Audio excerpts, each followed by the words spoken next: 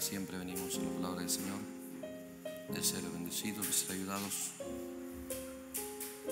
Es nuestra gran necesidad. Dios lo bendiga también a los hermanos que tengan los diferentes lugares a través de la transmisión. Es importante en el mundo real, porque es el mundo de la fe, es el mundo real. Es importante el juntar de la fe. Eso trae a Dios a la escena. Siempre fe trae a Dios a la escena. Cuando Él viene la escena puede instruirnos, porque Él es capaz, Él es el único que puede llevarnos a lo que nos conviene. Gloria al Señor. Dios lo bendiga entonces a todos los hermanos. Y vamos a tomar nuestras Biblias. Vamos a ir a, a Apocalipsis, capítulo 9.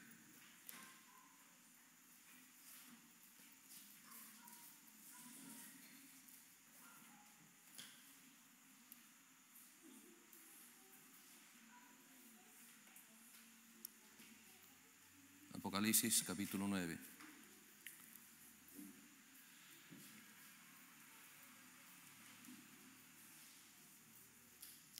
Habla de cómo es que se abrió el infierno y salieron langostas.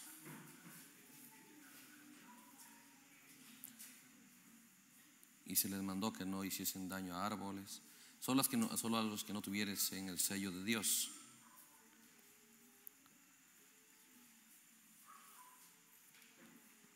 Y luego dice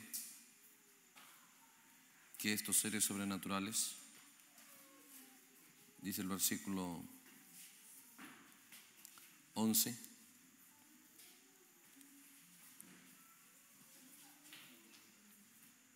estos seres sobrenaturales, dice el versículo 11, tienen por rey sobre ellos el ángel del abismo, cuyo nombre en hebreo es Sabadón y en griego Apolión. Vamos a orar un momento. Señor Jesús, Dios Todopoderoso, nos acercamos a ti, Señor, en esta noche, ante tu palabra, convencidos, Señor, por la instrucción de ella, de lo sobrenatural que ella es, de lo sellada que ella, Señor, se mantiene ante cualquier actitud errada pero también del glorioso de tu promesa, Señor, de lo disponible que está hacia el creyente, Señor, con la actitud correcta, con el propósito y el objetivo correcto en este día. Que puedas, Señor, tener en cada uno de nuestros corazones, Señor, que puedas tener invitación, que puedas, Señor, ser el anhelo de cada corazón, porque es nuestra necesidad, tal como dijiste allá, a saqueo, es necesario que pose en tu casa. Eres la necesidad, Señor, en nuestra vida, en nuestro mundo, para poder, Señor, activar en nosotros la realidad en la que, en la que nos has creado, Señor. Te suplicamos en el nombre de Jesucristo que pueda venir y envolvernos en una atmósfera de anhelo, de deseo ferviente de ser instruidos por ti, de ser, Señor, tan iluminados en nuestro entendimiento, tan entendidos, Señor, en tu bondad tan grande, tu amor tan grande para con nosotros y también, Señor, la maldad tan grande del enemigo para, con toda seguridad, Señor, caminar en pos de ti. No pensarlo, pero, Señor, que seas nuestra escogencia 100%. En el nombre de Jesucristo, Señor, creemos que todas esas realidades sublimes provienen del mundo y se pueden y se dan en el mundo de tu palabra. Por lo tanto, con gran expectativa vamos a acercarnos esta noche, Señor, hacia tu palabra. En el nombre de Jesucristo. Amén. Dios los bendiga.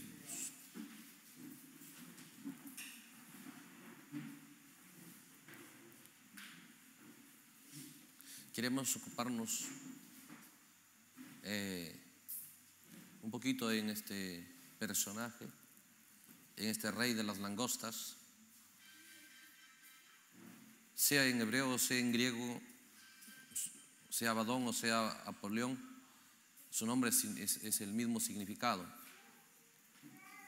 y significa el destructor. Ahora, este es mm,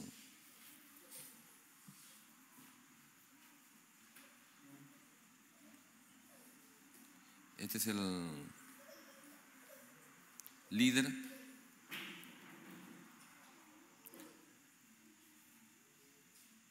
de este ejército que sale a escena en el tiempo del fin.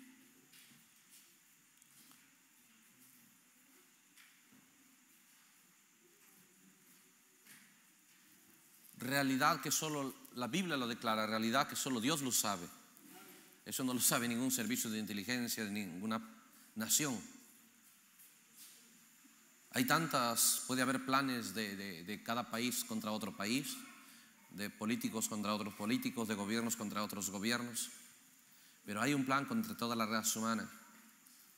Y eso nadie lo sabe, nadie lo percibe, es tan ultra secreto, es tan malo. Dios nada más lo sabe. Y lo, lo tremendo es que Él desea que nosotros nos- no seamos arrasados por ese plan de muerte, por ese plan de destrucción. Y queremos darle crédito a Dios, darle importancia a Él en lo que su Biblia declara.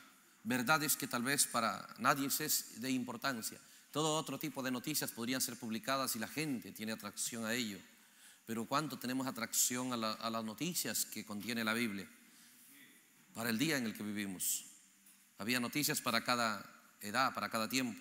Pero la Biblia contiene noticias para el día en que nos está tocando vivir. Y nos damos cuenta que estas son las cosas que tienen que ver con el día en el que vivimos y de qué se trata. Eh, es fácil hoy poder entrar a lo más profundo de todas las verdades de la Biblia, porque Dios la reveló.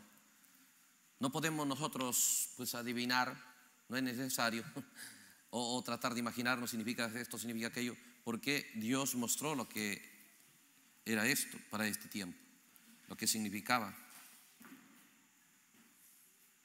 Entonces, queremos acercarnos a la Biblia mirando estas cosas que son la advertencia de Dios para no poder ser destruidos. Para ello vamos a ir un poquito al mensaje, la fiesta de las trompetas.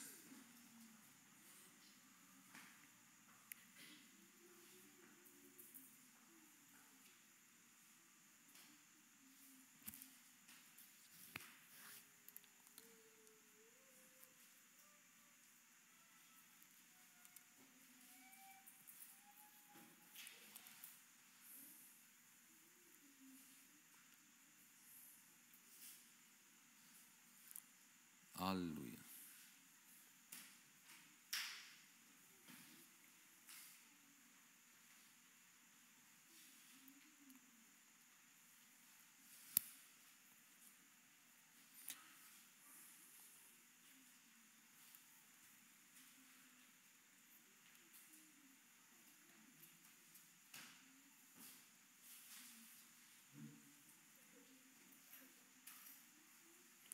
Vamos a leer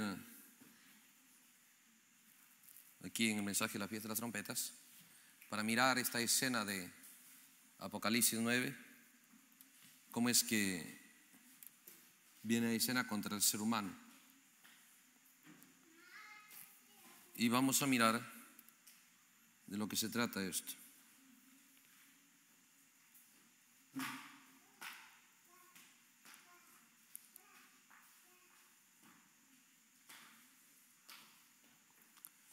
Mensaje, pies de las trompetas. Vamos a leer desde el párrafo 155.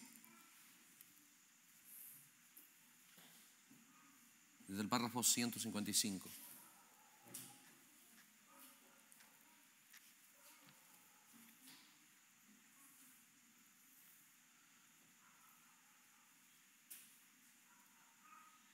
Dice así, fíjense ahora, exactamente en la continuidad de las escrituras, es exactamente lo mismo. Bajo la séptima trompeta es para Israel lo mismo que el séptimo sello fue para la iglesia. Nos damos cuenta, bajo el séptimo sello, que cuando estas almas que estaban ahí debajo del altar, recibieron vestiduras, se les dio vestiduras, ese era el quinto sello, no porque se la ganaron, porque ellos estaban en la dispensación en que Dios, con gracia, estaba lidiando todavía con los gentiles, no con los judíos. Israel es salva como nación. Dios lidia con Israel como nación, los gentiles son un pueblo para su nombre, no una nación para su nombre, lo cual es Israel.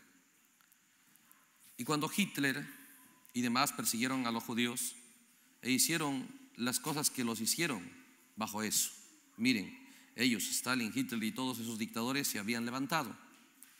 Si tuviéramos tiempo para repasarlo, para algunos de los nuevos que han venido para pero ya lo hemos visto, dice, bajo esa misma edad han habido en Alemania y en todas las demás naciones judíos que se han esparcido por toda la tierra. Pero sí ha levantado una dura persecución contra los judíos en los últimos 20 años. Yo he estado allá en los lugares donde quemaron sus cuerpos, los incineraron, usaron sus cenizas para fertilizar la tierra. Niños judíos y mujeres y de todo. Luego tratan de negarlo, se les puede llevar y enseñar a dónde fue hecho. Pero ha sido una dura persecución contra Israel porque ha sido el tiempo en que es llamado Israel de nuevo a la expiación. Todavía está bajo la expiación de un cordero natural, porque el verdadero cordero de Dios es la expiación, y lo han rechazado dos mil años atrás, ¿no? Y la sangre ha estado sobre él desde entonces, fíjense, está preparando al pueblo, ¿no? Para esa fiesta de expiación. ¿Cuán perfectos son la séptima trompeta y el séptimo sello? Juntos perfectamente. La persecución de Israel. Ahora, capte ese enfoque que podamos ver en todas las profecías. ¿De qué se trata? Se trata de que Dios va a obrar con su pueblo, pero hay una persecución, hay una batalla final. Es lo mismo en Apocalipsis 12. Satanás sabe que es la batalla final y él pone todas sus fuerzas ahí. Entonces, exactamente cuando Dios está a punto de liberar a Israel, empezó y se desató una persecución contra Israel, una masacre desde que salió este ejército de Apocalipsis 9. Eh, estos seres naturales, sobrenaturales, estos seres invisibles, entraron en personas aquí en la tierra, personas que tenían el gobierno, tenían autoridad en cada país, y en ellos se activó odio a Israel. No era un odio natural, era un odio sobrenatural. Y se activó odio y se activaron ideas, pensamientos, deseos de matarlos, de acabarlos, ingenio para matarlos de la manera más rápida, más acelerada y con menos costo. Entonces, ¿de qué se trata? Dice el paralelo del séptimo sello y la séptima trompeta. Se trata de que hay una persecución de por medio. Y es paralelo. Hay una persecución. A Israel se le perseguía en lo natural. ¿Sí? Y estos 144 mil que reciben su, séptimo, su séptima trompeta terminan muertos en la gran tribulación. Es paralelo el creyente. Ahora hay una persecución, una persecución de la muerte, una persecución muy en serio, una persecución que no querían dejar ni un solo israelita en la tierra. Esa persecución es paralela bajo el séptimo sello. Dios lo declara. Ahora depende cuánto nos interesa para mirar esta noticia que sí es verdadera para el tiempo del fin. Entonces, Dice aquí el párrafo 159. Noten, en Apocalipsis el capítulo 9, ¿sí? el versículo 13, muy bien, bajo la sexta trompeta, eso fue la Segunda Guerra Mundial, ¿sí? bajo, la, bajo la, la Segunda Guerra Mundial, la sexta trompeta, Apocalipsis 9, Apocalipsis 9:13, bajo la sexta trompeta. Noten, había 200 mil jinetes, 200 millones, dice la Biblia, que habían estado atados en el río Éufrates, que fueron desatados bajo la sexta trompeta. No hay 200 mil jinetes o 200 millones, pues, de ejércitos en la tierra, naturalmente, en el mundo. Pero habían 200 millones ahí en la Biblia dice Apocalipsis 9, Fíjense en eso. Quiero que lo anoten para que lo puedan leer. Entonces, enfocarnos, Apocalipsis 9 está hablando de la masacre. Y aquí es donde queremos leer un, poco, un verso más, un párrafo más, dice, el párrafo 160. Estos no eran caballos naturales. Cuando habla sus rostros como leones y como caballos, estos no eran caballos naturales. Respiraban fuego, tenían corazas de jaspe, tenían colas y en el extremo de la cola parecía una serpiente, tenían la cabeza de una culebra en el extremo de ella, picando. Eran caballos espirituales, diablos espirituales, caballos de guerra que habían estado atados en el Éufrates todos estos años diablos sobrenaturales. Observe, ¿no? Cómo es que estas escrituras pudieron haberse enfocado de cualquier manera, pero podemos hoy tener el enfoque correcto. ¿Cómo empezó, cómo se preparó el camino para, para esta Segunda Guerra Mundial? Son dos fases. Primero se abrió el infierno y salió a escena este ejército de langostas cuyo rey era Abadón Napoleón. El mismo rey es el de el ejército de los 200 millones, el mismo diablo. Solo que ahora hace, hace, aumenta su ejército, aumenta su poder. Y Dios abrió el quinto sello para mostrarnos lo decidido que está Satanás para acabar con la simiente de Abraham. Allá en, el mundo, en la esfera política, era eh, físicamente, sus cuerpos. Y los mataron de la peor manera. Sí. Pero nos damos cuenta que aquí viene contra el alma del creyente. Allá fue natural, aquí es espiritual son los mismos poderes. Pero estamos leyendo aquí que estos son diablos sobrenaturales. Estaban atados en el Éufrates. Todos esos son grandes temas. Pero en diablos sobrenaturales, que es el viejo imperio romano siendo revivido, la persecución de los judíos. Habían estado atados casi por dos mil años en el río Éufrates, no podían cruzar hacia la promesa. Era una secta religiosa que estaba tratando de llegar al otro lado, el Éufrates.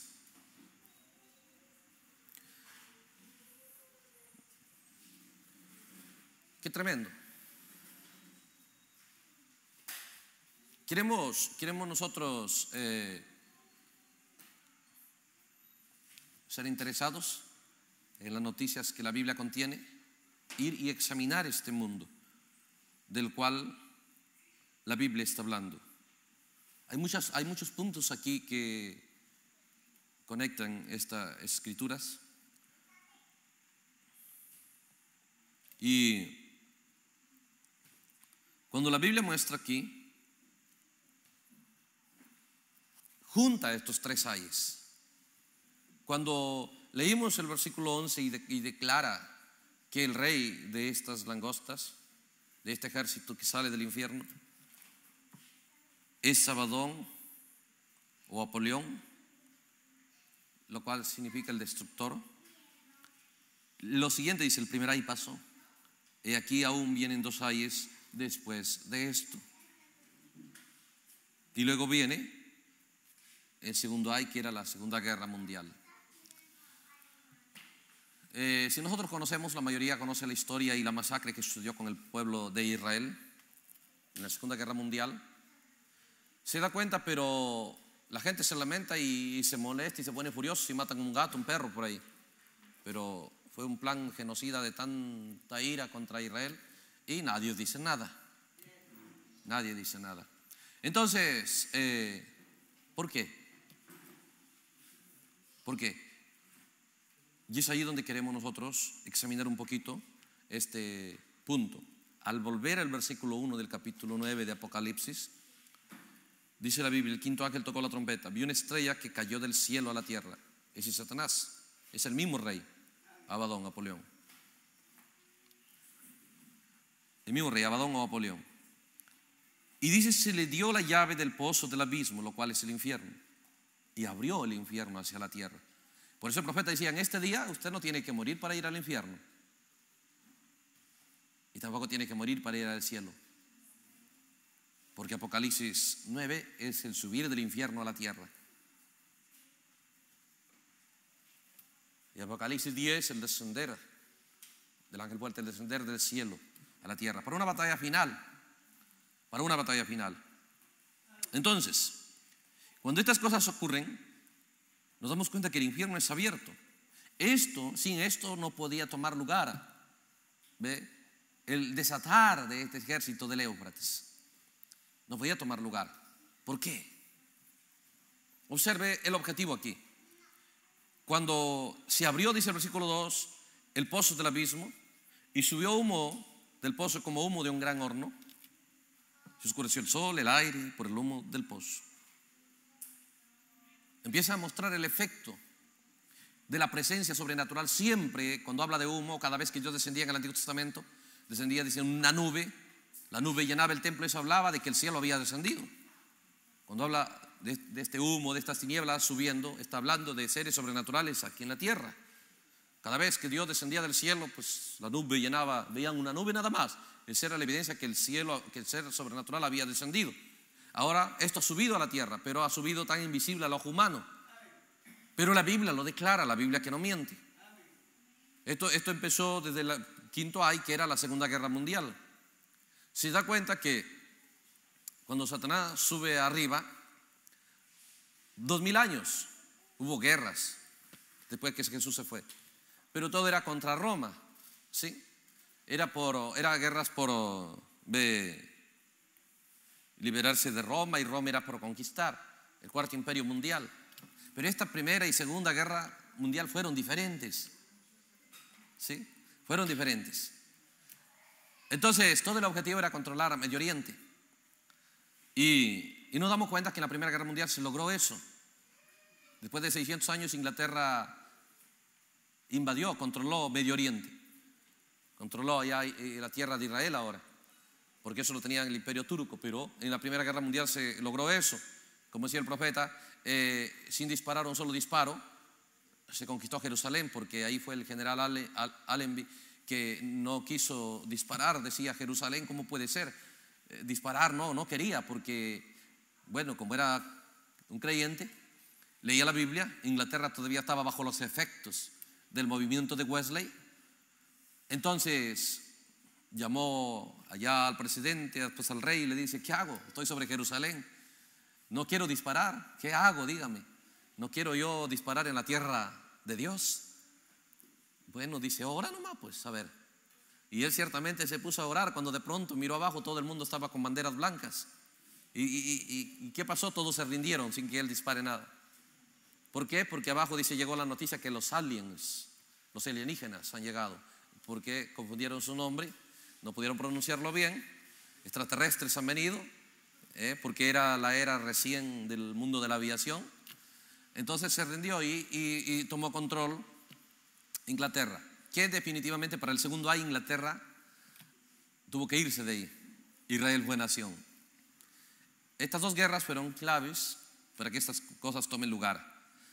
Entonces, cuando nos damos cuenta aquí en, esta Primera Guerra Mundial, el mundo iba a cambiar. ¿Por qué? Porque a la tierra iban a llegar nuevos habitantes que no han estado estos dos mil años. No han estado estos dos mil años, pero ahora iban a subir a la tierra. Dice la Biblia que al abrirse el pozo del abismo, sube humo del pozo del abismo como un humo de un gran horno y se oscurece el sol, el aire por el humo del pozo. El sol tiene que ver con la luz, el aire tiene que ver con la atmósfera. Y del humo, de ese humo, salieron langostas sobre la tierra y se dio poder como tienen poder los escorpiones de la tierra. Y se les mandó que no dañasen a la hierba de la tierra ni a cosa verde alguna, ni a ningún árbol, sino solamente a los hombres que no tuviesen el sello de Dios en sus frentes. ¿Se da cuenta? Nosotros estamos leyendo la quinta trompeta. Aquí es donde esa trompeta ahora va, va a venir el mal contra el ser humano. Cuando nosotros leímos las otras cuatro trompetas, las otras cuatro trompetas, observe, ¿A dónde va? Para ello rápidamente retrocedemos nada más un capítulo para armar el cuadro, que es el capítulo 8 de Apocalipsis. Dice Apocalipsis 8, cuando abrió el séptimo sello, por eso el profeta lo coloca todo esto bajo el séptimo sello, ¿no? La persecución de Israel, el primero y el segundo hay, ¿no? Y luego el tercero, todo eso bajo el séptimo sello, ¿por qué? Porque bajo el séptimo sello es donde las trompetas vienen a escena. Dice, cuando el séptimo sello fue abierto, se hizo silencio en el cielo como por media hora. Y vi a, los siete ángeles que estaban en pie ante Dios y se les dieron siete trompetas. Y dice la Biblia, el versículo 6, y los ángeles que tenían las siete trompetas se dispusieron a tocarlas. Ahí empieza. Apocalipsis 9, pues es, quinta y sexta trompeta. Pero aquí en Apocalipsis 8 va, a describirnos las cuatro primeras. Observe. Dice, el primer ángel tocó la trompeta. Hubo granizo y fuego mezclados con sangre y fueron lanzados sobre la tierra.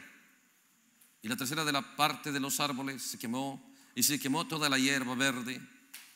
Se da cuenta que la primera trompeta, todo eso tiene que ver con destrucción, sea la primera, sea la segunda, sea la tercera, sea la cuarta, la quinta o la sexta. Es el mismo líder destructor, es Abadón o Apolión, que es el mismo personaje.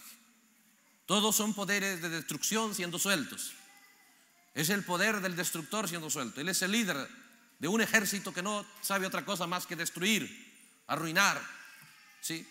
Más que matar.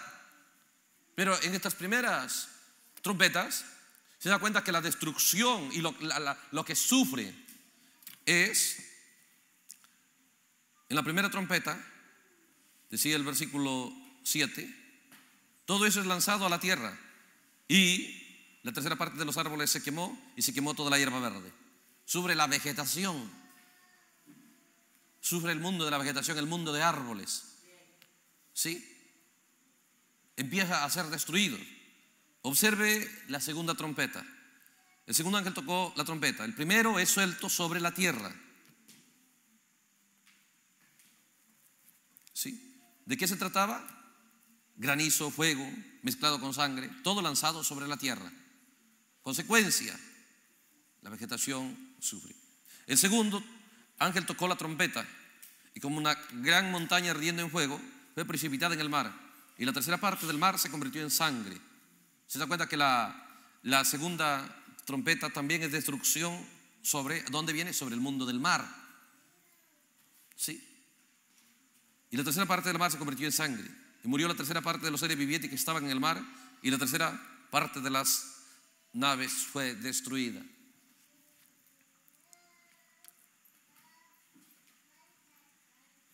Se da cuenta que todo esto es el mundo de la vegetación, luego el mundo de la vida marina. El tercer ángel tocó la trompeta y cayó del cielo una gran estrella ardiendo como una antorcha. Y cayó sobre la tercera parte de los ríos y sobre la fuente de las aguas. Y el nombre de la estrella es ajenjo. Y la tercera parte de las aguas se convirtió en ajenjo. Y muchos hombres murieron a causa de esas aguas porque se hicieron amargas. Se da cuenta que aquí el juicio viene ya ahora, ¿ve? al mundo de los ríos. ¿Sí?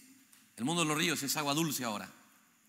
Mar, agua salada, el agua dulce, el agua que consume, de la cual depende animales, plantas y humanos. Todo aquello que tenga que ver con la vida empieza a ser destruido. Todo aquello que tiene que ver con la vida empieza a ser atacado.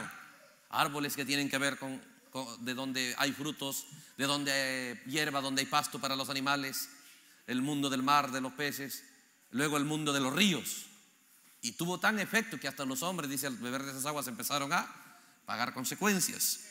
Pero no era el ataque directo al ser humano, era ataque a la tierra, era el ataque al mar, era el ataque a los ríos. Y la cuarta trompeta, el cuarto ángel tocó la trompeta y fue herida la tercera parte del sol. ¿Se da cuenta? Y la tercera parte de la luna y la tercera parte de las estrellas, para que se oscureciese la tercera parte de ellos y no hubiese luz en la tercera parte del día y asimismo de la noche. La cuarta trompeta, ¿qué tiene que ver con el medio ambiente? Tiene que ver con la atmósfera. Tiene que ver, dice, fue herida, la tercera parte del Sol, es el mundo de la capa de ozono, es el mundo de los rayos ultravioletas. La tercera parte de la Luna, la tercera parte de las estrellas, para que se oscureciese la tercera parte de ellos y no hubiese luz. ¿Cuál era, el objetivo? La vida, la vida en esta tierra iba a cambiar a partir de este de, estas de, la escena de estas trompetas. La destrucción iba a tomar lugar, pero era una destrucción que no iba a percibirse de una manera eh, total, sobre todo en el día donde el ataque venga y la esfera del alma. Cuando nosotros nos damos cuenta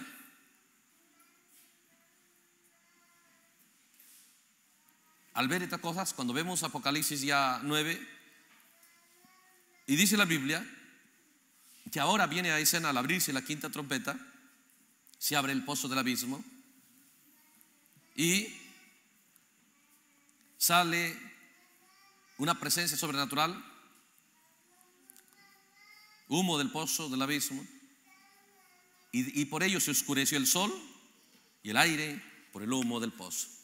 Se da cuenta que el objetivo era, cuando se lanzó esta cuarta trompeta, vino a escena, de tratar de oscurecer, de traer oscuridad.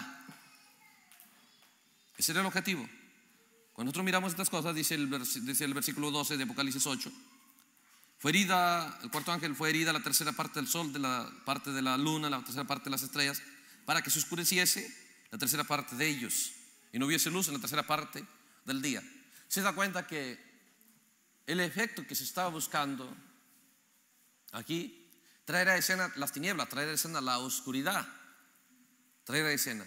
Ahora, y nos damos cuenta que estas cosas, estas cosas han tomado lugar, ¿sí? Han tomado lugar solamente que hay que leerlo la Biblia de la manera correcta. Cuando nosotros entonces vamos y vemos ahí el capítulo 9, Dice la Biblia, el versículo 2, y abrió el pozo del abismo y subió humo del pozo como humo de un gran horno y se oscureció el sol y el aire por el humo del pozo. Se oscureció el sol y el aire por el humo del pozo. Muy bien. Estas cosas van a tomar lugar cada día más en, en la esfera visible en la gran tribulación, en el tercer ay, físicamente. Pero estas cosas siempre fueron escritas para la esfera del alma, para la esfera de la batalla más grande jamás peleada. Cuando Dios empieza a hablar del mundo de las trompetas, está hablando de, de, que la tierra se está acercando a su liberación. Está hablando que se da cuenta que para que la tierra sea liberada, tiene que venir a escena a la tierra el destructor, con su ejército y con su poder de destrucción, para destruir todo el medio ambiente y, a y, en, la quinta trompeta, decía el versículo 4, se les mandó a este ejército de langostas que no dañasen a la hierba de la tierra, ya no es, no es a la creación, ni a, la cosa, ni a cosa verde alguna, ni a ningún árbol, sino solamente a los hombres que no tuviesen el sello de Dios en sus frentes. Ahora en la quinta trompeta directamente y al juicio empieza a venir al habitante de la creación al habitante. Igual fue en la sexta trompeta, igual es en la séptima, en los tres últimos años. Examinemos estas cosas porque tienen que ver con nosotros. Si nosotros leemos acá,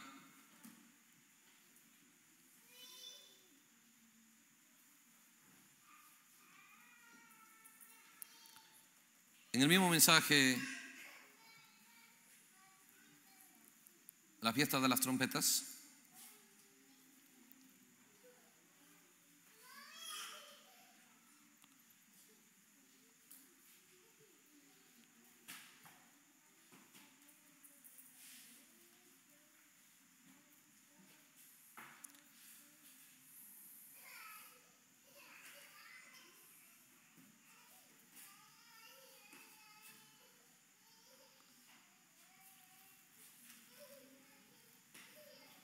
párrafo 100, 89.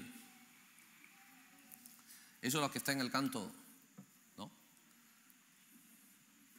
El espíritu eclesiástico ha sido suelto después de la fiesta de las trompetas.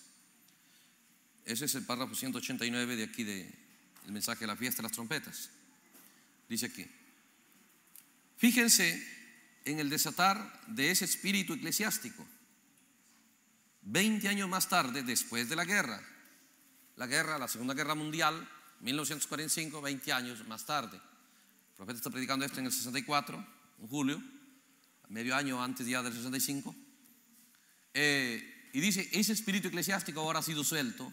Allá fue político, fue militar, pero ahora eclesiástico, en la esfera eclesiástica, ha sido suelto. Y cuando nosotros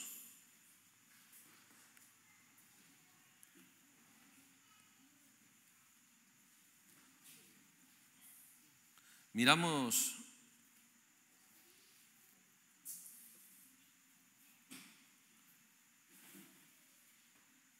estas cosas, vemos que ahora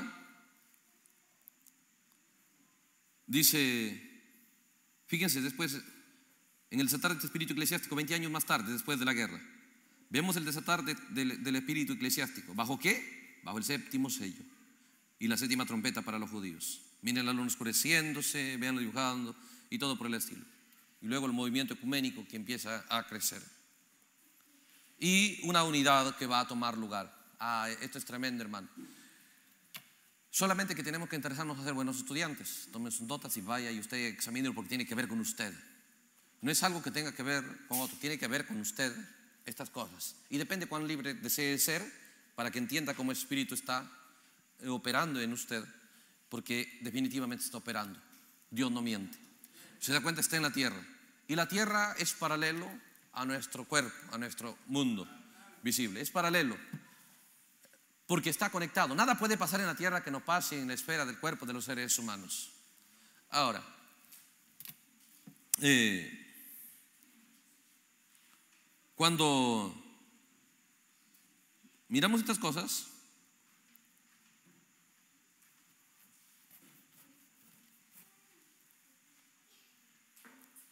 ahora sí queremos un poco ver aquí porque toma lugar esto. ¿Por qué es así? ¿Por qué Dios viene y nos muestra lo que va a pasar con la tierra? Casi no nos muestra del ataque que es contra la novia. Del ataque, la Biblia casi no habla, pero sí nos damos cuenta que el paralelo que nos dice en fiesta, en mensaje, el futuro hogar del novio celestial y la novia terrenal, que lo mismo, de la misma manera en que Dios redime a la tierra, también redime a la novia. Porque tres cosas cayeron, el novio, la novia y la tierra, el reino. Entonces el novio ya fue restaurado en Jesucristo. La novia y la tierra y el rey, la novia y la tierra faltan, novia y el reino. Pero es paralelo. Entonces miren, dice cómo Dios llama al creyente por justificación, luego santificación y luego el bautismo del Espíritu Santo. De esa manera lo trae a redención. Exactamente lo mismo Dios hace con la tierra. Lo bautizó en agua con Noé. Lo santificó con la sangre de Jesucristo. Y luego lo va a bautizar con fuego, igual que como para nosotros. ¿Qué tipo de justificación? Allá el bautismo inundada completamente en agua. Se da cuenta que era un juicio a todo lo errado, a todo, el pecado. Por eso que nosotros eh, tenemos que entender estas cosas. ¿De qué se trata el bautismo? ¿De qué se trató el bautismo de la tierra? Se trató de que ya no iba a quedar ni un pecador en la tierra. De eso se trató el bautismo en agua. Se trató de sacar fuera de escena a aquellos que Dios ya no los toleraba. Cuando nosotros entramos al bautismo, hemos decidido que ya los habitantes cerrados van a salir fuera de escena de nuestra tierra y vamos a entrar en una nueva vida. ¿Sí? ¿De qué se trató, ve usted, el derramar de la sangre de Jesucristo? La crucifixión, ¿sí? Era el, para, el pagar el precio del pecado. Era traer a escena de nuevo el regreso a la libertad. Se rasgó el velo para darnos acceso una vez más al árbol de la vida. De eso se trató. Entonces, de ahí en adelante, cuando nosotros hemos bautizado en el nombre de Jesucristo y, y vemos la sangre de Jesucristo pagando el precio, entonces deberíamos entrar, tener acceso al lugar santísimo para comer una vez más el árbol de la vida, para vida, lo cual es la palabra de Dios. Entonces, Lo siguiente que viene es el bautismo en fuego. ¿Sí? Eso es lo que pasó con los apóstoles. Fueron justificados, fueron santificados por la sangre, por la palabra, la, las palabras sangrantes, y luego fueron bautizados con el Espíritu Santo. Así es con la tierra. En el tercer año la tierra es bautizada con fuego. Su bautismo con fuego y la tierra que es liberada. Y entonces puede establecerse el reino milenial. ¿Sí? Ahora, cuando nos damos cuenta que este espíritu, al obrar aquí, en Apocalipsis 9, lo que debemos no perder de vista es al que lidera este ejército. ¿Sí? Dice Abadón y Apolión. Él era el líder de este ejército. Entonces sale a escena el resto de su ejército. Pero ¿qué tuvo que venir primero para que pueda venir a escena el ejército de Éufrates? El Éufrates. Para que pueda venir a escena ese ejército que fue despertado del Éufrates. Y nosotros, cuando miramos estas cosas, ese ejército que salió del Éufrates, el profeta dice que era, era el revivir del antiguo espíritu romano, ¿sí? Del viejo imperio romano. Era el revivir una vez más. Entonces, ¿cómo vino a escena estas cosas? Siendo que son espíritus, esos espíritus que han invadido la tierra no pueden operar si no tienen cuerpos. No pueden operar si no tienen cuerpos. Y siendo que son seres de oscuridad, son seres de tinieblas, para moverse ellos tienen necesidad, por eso. Primero, tienen necesidad de que, de que destrucción, cuando ellos vienen a salir a escena, destrucción toma lugar. No puede evitarse eso, ellos son la misma destrucción, porque su líder es el destructor. Destrucción en escena. donde ellos llegan, quedas destruido. Donde ellos llegan, empieza a ser destruida la vida. ¿Sí? Empieza a ser destruida la vida. Cuando nosotros damos cuenta de la vida de las plantas, de los árboles, la vida de los peces, la vida en los ríos, y luego contaminar el medio ambiente, afectar el mundo del sol, ¿sí? el mundo de estaciones, de climas, afectar eso. Pero entonces, en la quinta trompeta, entonces viene ahora, va a ser afectado el habitante. Pero ¿de qué manera ha tomado lugar físicamente? Primero miremos para que podamos ver cómo toma lugar espiritualmente. ¿Cómo tomó, lugar físicamente? ¿Se da cuenta? Estos son seres sobrenaturales cuyo objetivo decía, y nos damos cuenta, Apocalipsis 9, desde el versículo 1, la quinta trompeta, eso es 1914. Esa es la Primera Guerra Mundial. Para que, para que estos seres puedan operar necesitan entrar en cuerpos. Si no pueden entrar en cuerpos, ningún diablo, eso son leyes en la Biblia, ningún demonio, ningún diablo puede entrar en la vida de nadie, salvo esa persona no le guste esa unción. No la acepte. Si no, no pueden entrar. Y cuando nosotros nos damos cuenta que hasta antes de la Primera Guerra Mundial, hasta antes de la Primera Guerra Mundial, ¿se da cuenta? El mundo de ciencia, el mundo de tecnología, el mundo de la inmoralidad no estaba en escena.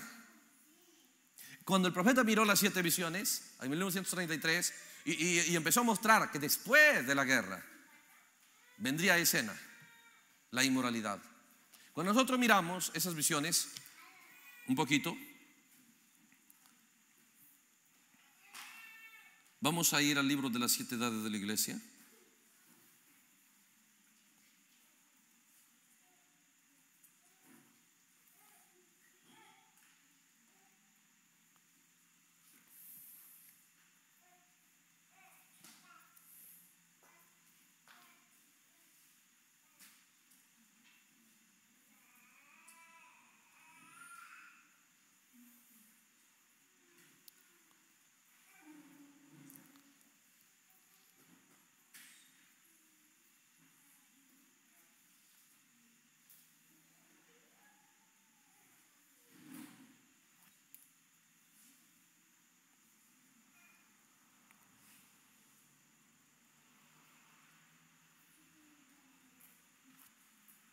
Esa es la séptima edad.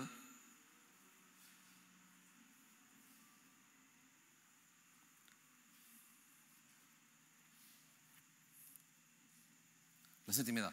Vigilemos cómo Dios empieza a mostrar en estas visiones, muestran eh, eh, cómo el, plan del enemigo iba a ir desenvolviéndose, cómo iba a tomar lugar. Gloria al Señor. bendiga a nuestro hermano César, nuestro hermano Chiclayo, llegando. Aleluya.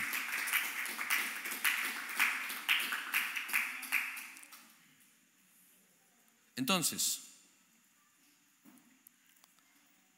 es el mensaje, ese es el libro de la cita de la iglesia en la edad de la Odisea. Eh, vamos a leer el párrafo 8, pero vamos a empezar este, la mitad del 8. La mitad del 8. Dice, esa mañana en el culto di a conocer la revelación del Señor. La primera visión era que Mussolini iba a invadir Etiopía. Eso tiene que ver con Italia. Una unción de expandirse iba a venir sobre Mussolini, Italia. Y el profeta dice que esos eran ismos que, que, entraron en la tierra, que era en Italia era el fascismo, en Alemania el nazismo y en la Unión Soviética era el comunismo. Entonces dice aquí, la primera, observe cómo es que en esta visión es viene. La primera visión era Mussolini iba a invadir Etiopía y esta nación caería a sus pasos, ¿no? Esa visión causó mucha repercusión y muchos se enojaron cuando lo dije y no lo quisieron creer. Pero así sucedió. Él simplemente entró allí y con sus armas modernas se apoderó de la nación. Los etíopes no tuvieron ninguna alternativa, pero la visión también mostró que Mussolini tendría un fin horrible en el que su propia gente se volvería contra él. Eso sucedió exactamente como fue dicho. La segunda visión predijo que un austriaco con el nombre de Adolfo Hitler se levantaría como dictador en Alemania. Ciertamente él fue de Austria, no fue de Alemania. Pero exactamente sucedió. Se levantaría como dictador en Alemania y que él conduciría al mundo entero a una guerra. Todo esto sucedió en 1933. La gente empezó a mirar eso. Dios le mostró a él esas cosas. Y vendría siendo una guerra mundial. Entonces mostró la línea Seifried y, y todo lo demás, pero Hitler tendría un fin misterioso. Pero la tercera visión fue en el dominio de la política. Dice,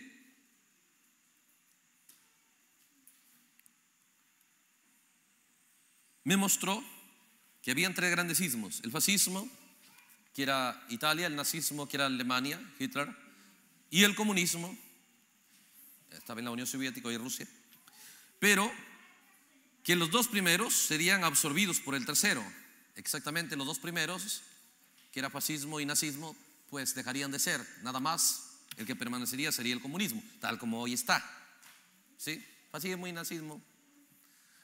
Pero comunismo sigue adelante. Entonces, los dos primeros serían absorbidos por el tercero. La voz me advirtió, fíjate en Rusia, fíjate en Rusia, fíjate en el rey del norte. Fue tremendo porque en ese tiempo era la Unión Soviética. Definitivamente, año después, cerca del año 2000, se disolvió la Unión Soviética y tomó lugar Rusia. Pero el profeta nunca usó la Unión Soviética, usó Rusia. Porque Dios se lo mostró así, para mostrar que la visión sería eh, más cabalmente vista en el tiempo donde sea Rusia, ya no sea la Unión Soviética.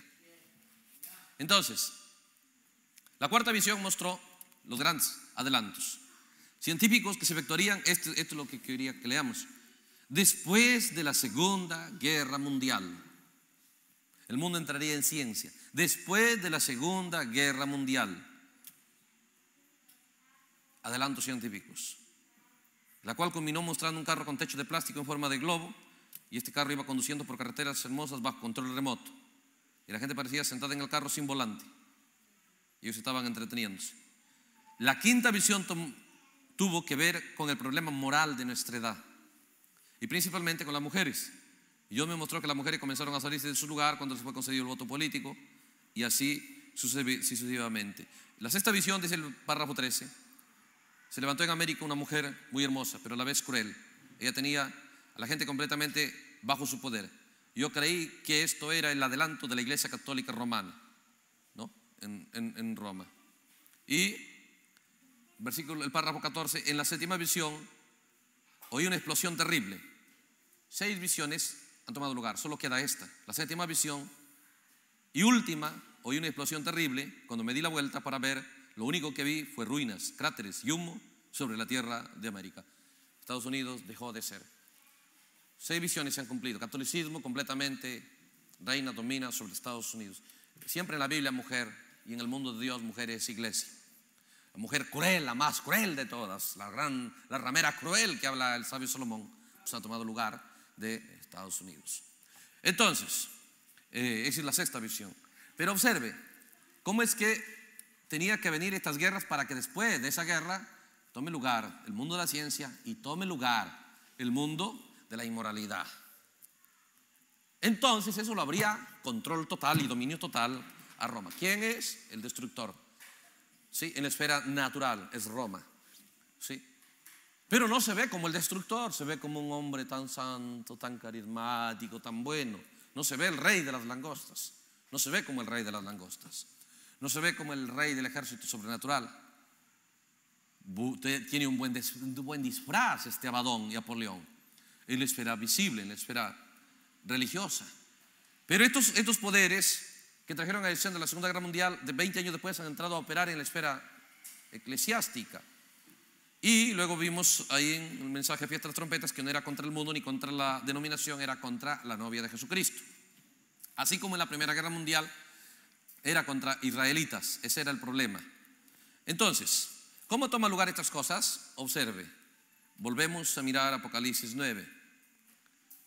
Dice la Biblia, al entregarse la llave, en otras palabras, estos espíritus estaban atados y no podían estar operando, estaban presos, porque el infierno es una prisión. ¿sí? Estaban presos y no podían moverse, no podían, y cuando fueron sueltos se da cuenta que tomó lugar un mundo de inmoralidad y un mundo de ciencia, y un mundo de Abadón y Apolión, lo cual es Roma. Tomó lugar después de que esto vino a escena. Exactamente como en los días de Noé. Nosotros entendemos cómo es que Dios en la Biblia nos registra que los juicios y las cosas que suceden aquí en la tierra es una imitación. Dios ha permitido que todo lo que aquí se haga sea un reflejo, sea una imitación de lo que sucede en el mundo invisible, en el mundo de Dios. Nosotros encontramos que hay jueces, encontramos que hay policías, cárceles para la gente que quebranta las leyes. Y encontramos que ¿ve? hay sentencias de 10 años, de 20 años y así sucesivamente. Sí, hay muchos juicios, pero esas sentencias son ¿ve? un proceso judicial de por medio. Y cuando nos damos cuenta, la Biblia narra eso, que cuando eh, Satanás va, empieza a ser juzgado, empieza un proceso judicial para él, la primera sentencia contra él eh, después eh, toma lugar cuando, se dicta su sentencia, cuando Jesús dijo el príncipe de este mundo ha sido juzgado, ¿sí? porque Jesús pagó el precio, la cruz ahora se había paso, porque antes de que Jesús pague el precio, antes de que se lleve a cabo el plan de redención, antes de que se cumplan esos seis eh, años, no podía haber libertad. Pero después que eso se cumple, entonces el proceso empieza eh, porque Él tiene el reino de la tierra, Él tiene el control. Pero una vez que su control termina, así como los gobiernos, mientras son presidentes, hacen lo que quieren.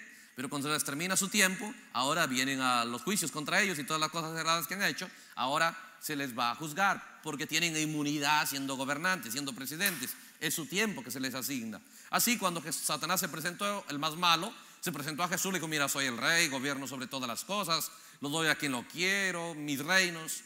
Eso es lo que él decretó allá en San Lucas, ¿no es cierto? Podemos leer un poquito para conocer estas leyes, cómo funcionan. San Lucas capítulo 4 dice el versículo 5. Y le llevó el diablo a un monte alto y le mostró en un momento todos los reinos de la tierra. Todo. Como dice el hermano Branham, le presentó lo que es Estados Unidos, lo que es Inglaterra, cada país. Mira, dijo, mira cada país. En un momento, todos los países, todos los reinos. Y le dice el versículo 6, y le dijo el diablo, a Jesús le dice, a ti te daré toda potestad, toda esta potestad. Mira qué poderoso gobernante soy, te la doy. Te daré la gloria de ellos, porque a mí me ha sido entregada. ¿Quién lo entregó? Adán. Y a quien quiero yo la doy. Y si tú mostrado me dólares, pues serán tuyos. O sea, él hace lo que quiere. Pero hay un momento donde él pierde el reino, donde él pierde el control. Y cuando él pierde el control, observe aquí en el Apocalipsis, capítulo 20.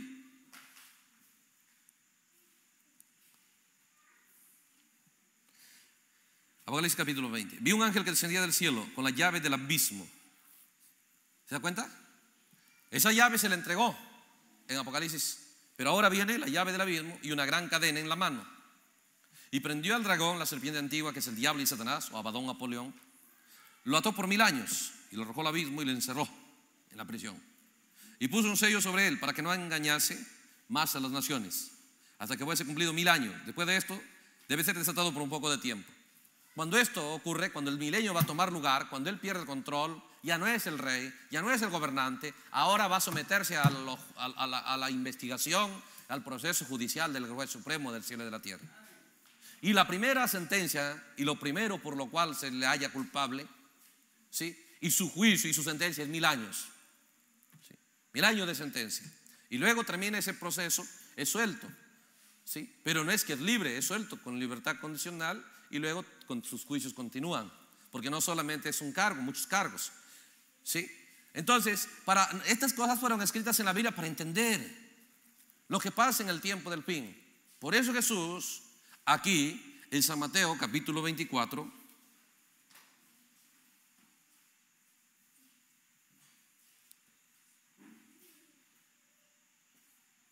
en San Mateo capítulo 24,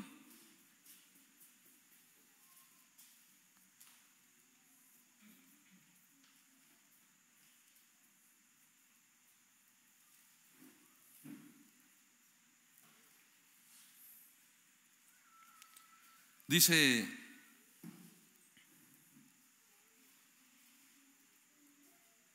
versículo 36, pero el día y la hora nadie sabe, ni aún los ángeles de los cielos, solo mi Padre. No se sabe el día, la hora que va a suceder. Pero dice más como en los días de Noé, así será la venida del Hijo del Hombre. ¿Cómo conecta a Jesús el tiempo del fin, el tiempo de su venida a los días de Noé? ¿Sí? A los días de Noé. Será así, dice, como en los días de Noé. Pero los días de Noé también eran los días de Lamec, eran los días de Naama. Así será, dice. Y cuando nosotros eh, eh, miramos esas cosas, ¿qué pasó ahí en los días de Noé? Si nosotros retrocedemos a Génesis capítulo 5,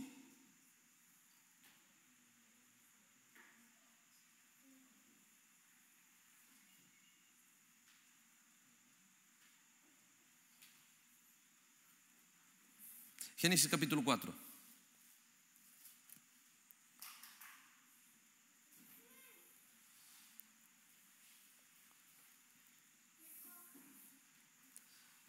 Dice el versículo 16, salió pues Caín de la, pues, de la delante de Jehová y habitó en la tierra del Nod, al oriente de Edén. Conoció Caín a su mujer, la cual concibió y dio a luz a Enoch y edificó una ciudad y llamó el nombre de la ciudad del nombre de su hijo Enoch. Entonces el profeta dice, mire, después que se fueron de la presencia de Dios, esta es la regla. Después que se fueron de la presencia de Dios, empezaron a trabajar en ciencia. Y trajeron a escena una ciudad. Y luego empieza a dar la genealogía. De Caín viene Enoch, de Enoch Irad, de Irad Mejujael, de Mejujael Metzael, de Metzael Lamec. Es la genealogía hasta los días de Noé. Noé y Lamec. ¿Sí? Porque el padre de, se da cuenta lo parecido porque también el padre de Noé era eh, ¿no es cierto? Pero este Lamec viene de la genealogía de Caín. Y Lamec tomó por así dos mujeres. Se iba a acabar el mundo de la relación de pareja.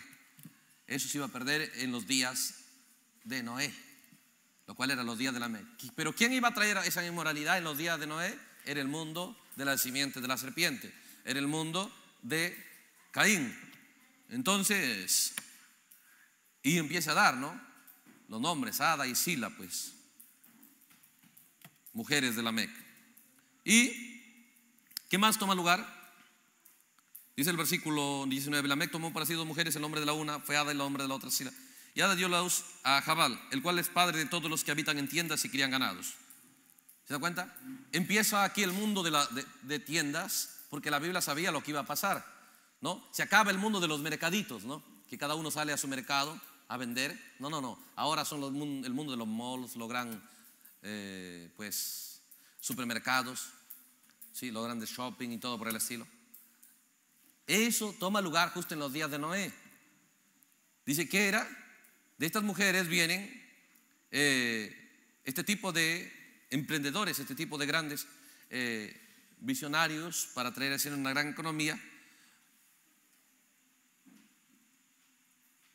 Dice Jabal, el padre de los que habitan en tierra y crían ganados, lo, lo que es el mundo de granjas. ¿sí? Eso es lo que ha tomado lugar. Las grandes granjas de pollo, las grandes granjas de ganado, de cerdo, de, todo. Ya no era criando, cada uno cría sus pequeños pollos, sus reses y luego va a vender al mercado. No, ya. Todo eso ya viene en, en gran escala. Todo eso toma lugar. Por eso hoy, hoy se da cuenta que ya se. Piénselo.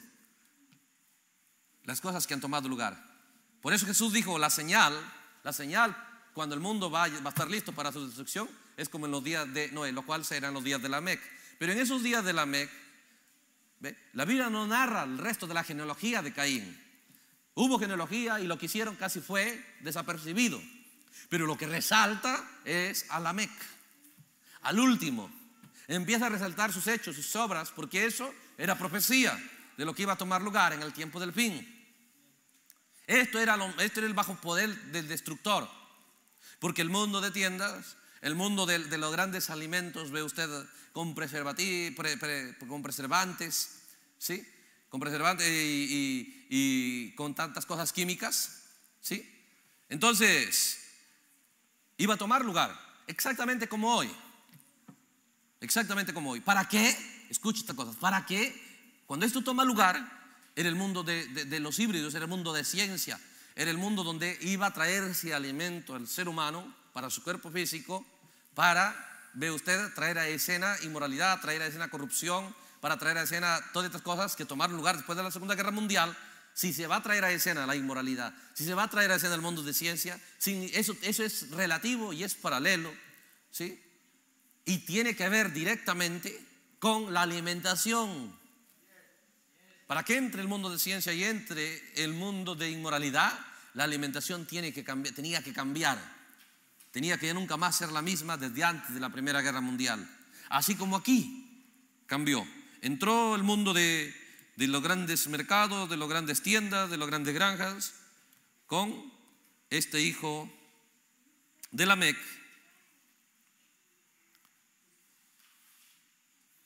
con este Jabal. Y el nombre de su hermano fue Jubal, el cual fue padre de todos los que tocan arpa y flauta, el mundo de la música. Iba a venir a escena también, tal como hoy.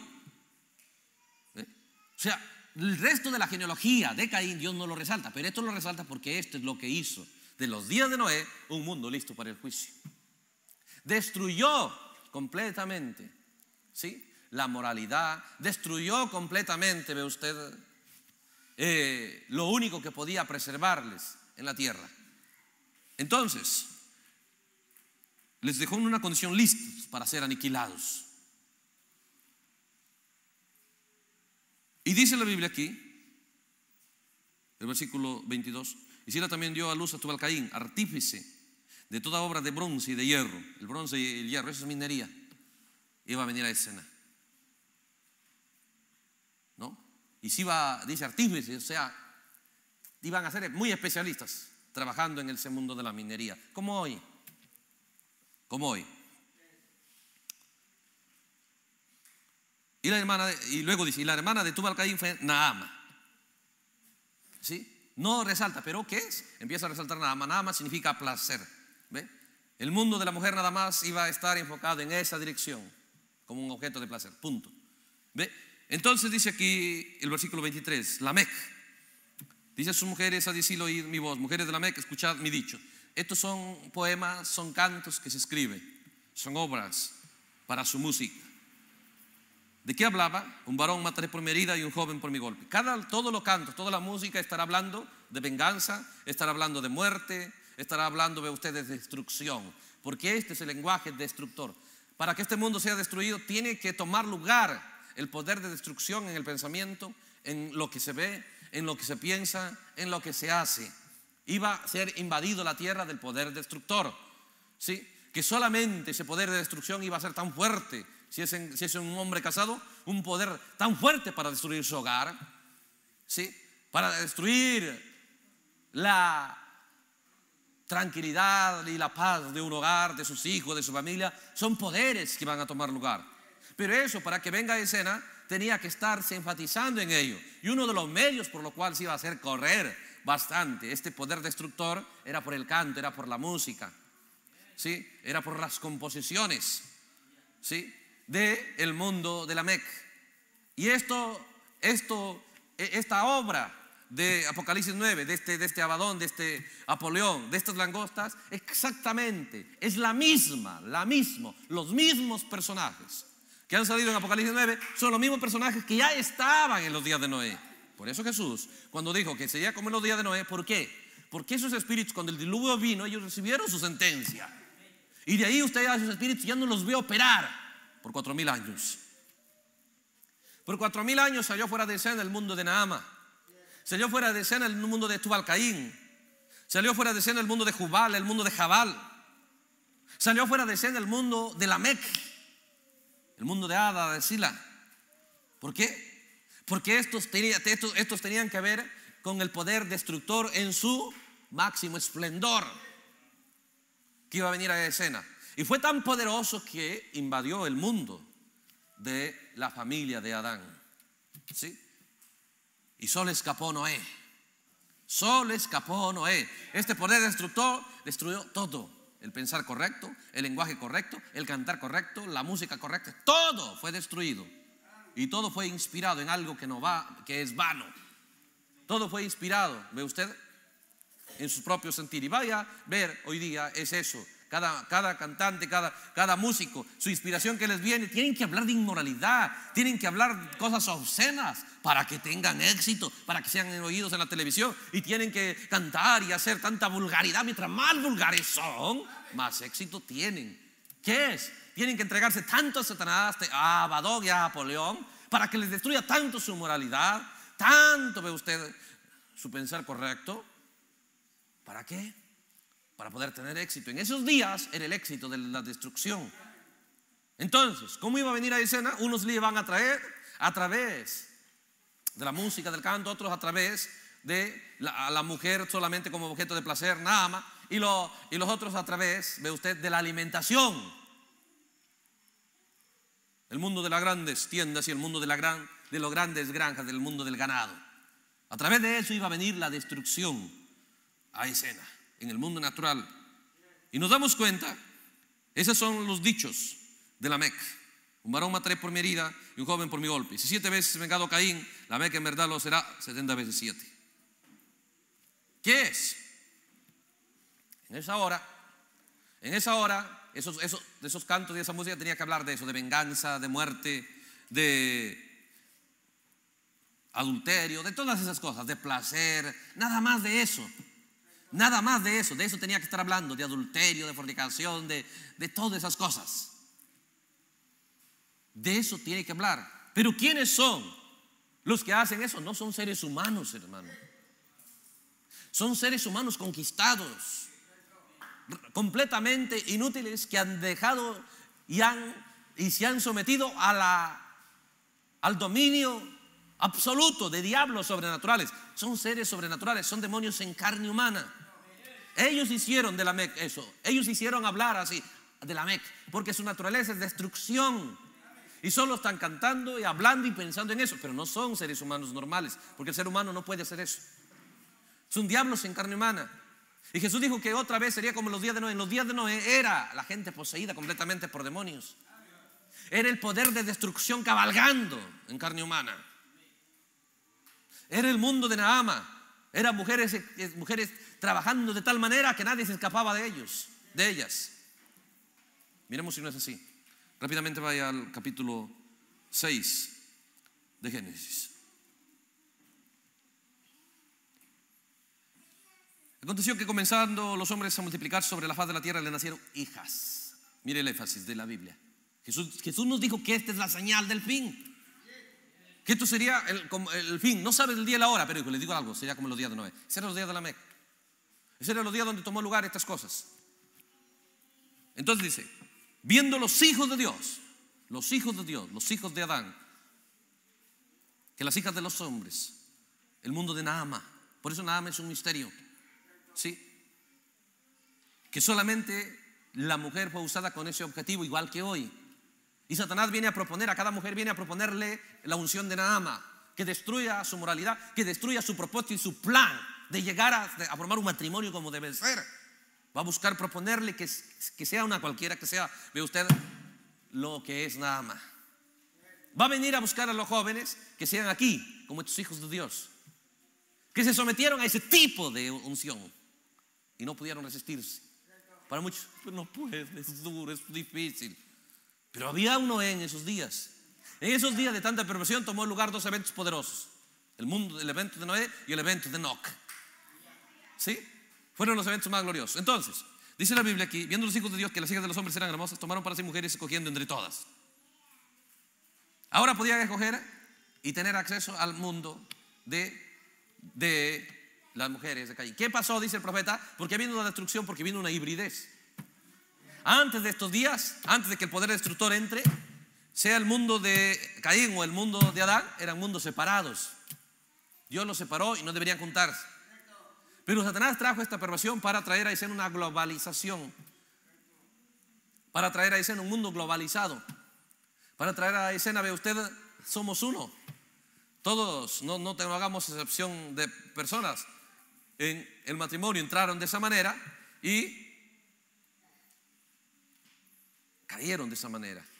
Entonces dijo Jehová, no contendrá mi espíritu con el hombre para siempre, porque ciertamente él es carne, más serán sus días 120 años. Había gigantes en la tierra en aquellos días, gente intelectual, gente sabia, poderosos. ¿Por qué?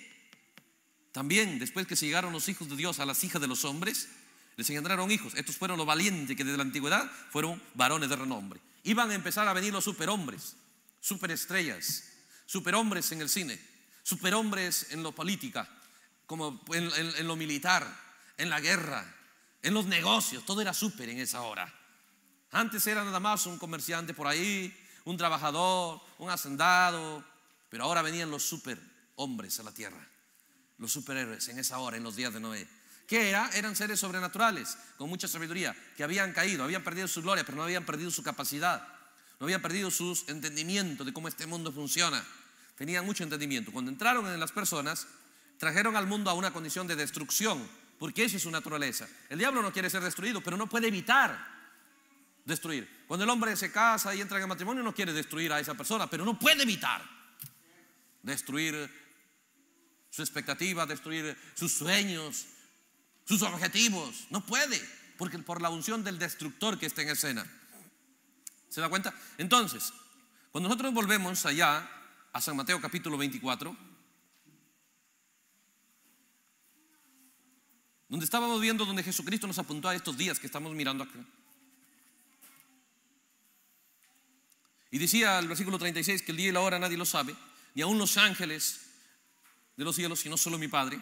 Pero como en los días de Noé, así será la venida del Hijo del Hombre, como los días de Noé. Ese eran los días de la Mec, ese eran los días de Naama, ese eran los días de los, super, de los supermercados, de, los, de, las supergranjas. Ese eran los días de la música y del canto soez, de muerte, de venganza, de adulterio. Ese eran esos días.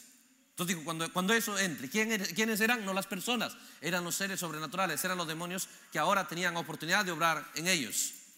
En la, en la línea de Caín. ¿Por qué? Eso empezó cuando él se salió de la presencia de Dios. Pero el punto fue que ellos no se quedaron contentos, sino se metieron y mezclaron con el mundo de Noé. Y en el mundo, en ese día, dejó de haber dos razas. En ese, día ya había tres. ¿Se da cuenta?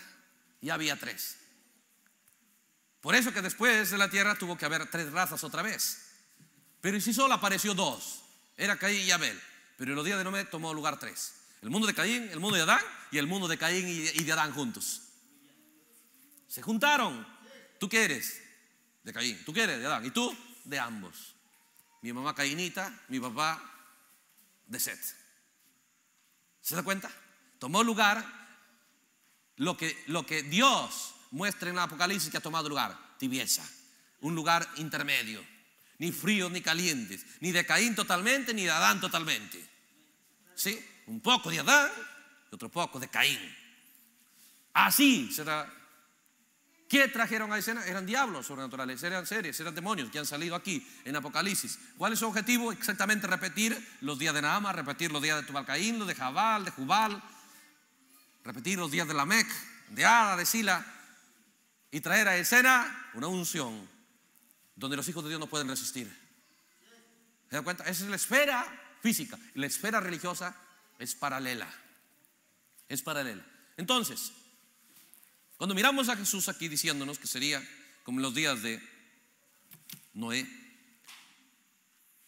dice el versículo 38, porque como en los días de Noé, antes del diluvio, ¿se da cuenta qué es lo que pasó? Cuando esos espíritus entraron, usted vigile que no era la gente, eran unciones, eran diablos. Cuando esos espíritus entraron, ¿cuáles son los síntomas que se produjeron para esas personas? Estaban comiendo, bebiendo, casándose, dando en casamiento, hasta el día en que no entró en el arca. Y no entendieron, hasta que vino el diluvio y se lo llevó a todos. No entendieron, no entendieron qué estaba pasando. No entendieron que eran diablos sobrenaturales que estaban en la tierra.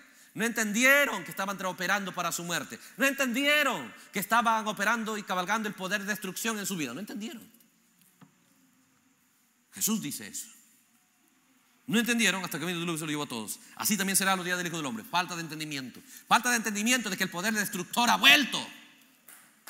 Por eso Dios dice Abadón o Apolión, sea en griego, sea en hebreo, es el rey de este ejército. El rey de las langostas, el rey del ejército de 200 millones de diablos. El mismo rey que cayó del cielo, la estrella caída. El mismo que será preso por mil años. Entonces esos seres fueron presos. Después del diluvio ya no se los volvió a ver porque la gente murió, pero los diablos que le hicieron operar esto a Naama, a Tubalcaín, a la Meca, a Sila, a todos ellos, esos diablos no murieron. Fueron, fueron en el pozo del abismo, sentenciados, sellados, hasta el primer ay. En el primer ay dijo, toma la llave, se han cumplido su sentencia. Serán sueltos por un poco de tiempo, igual como Satanás. Es preso, el rey de las langostas. Mil años de una sentencia. Después de mil años, una vez más, se le suelta, pero no es que es libre. ¿Se da cuenta? Porque hay muchos procesos, muchas acciones que, sí que quisieron estos seres y ahora van a ser juzgados. Y se les dio una sentencia. Y cuando son sueltos, son sueltos aquí. Y cuando son sueltos, salen a la tierra. Pero estos seres, esa es su naturaleza. ¿Qué tienen que hacer? A ellos no les gusta vender una ovejita. Ellos quieren vender mil ovejas. Ellos son las super tiendas.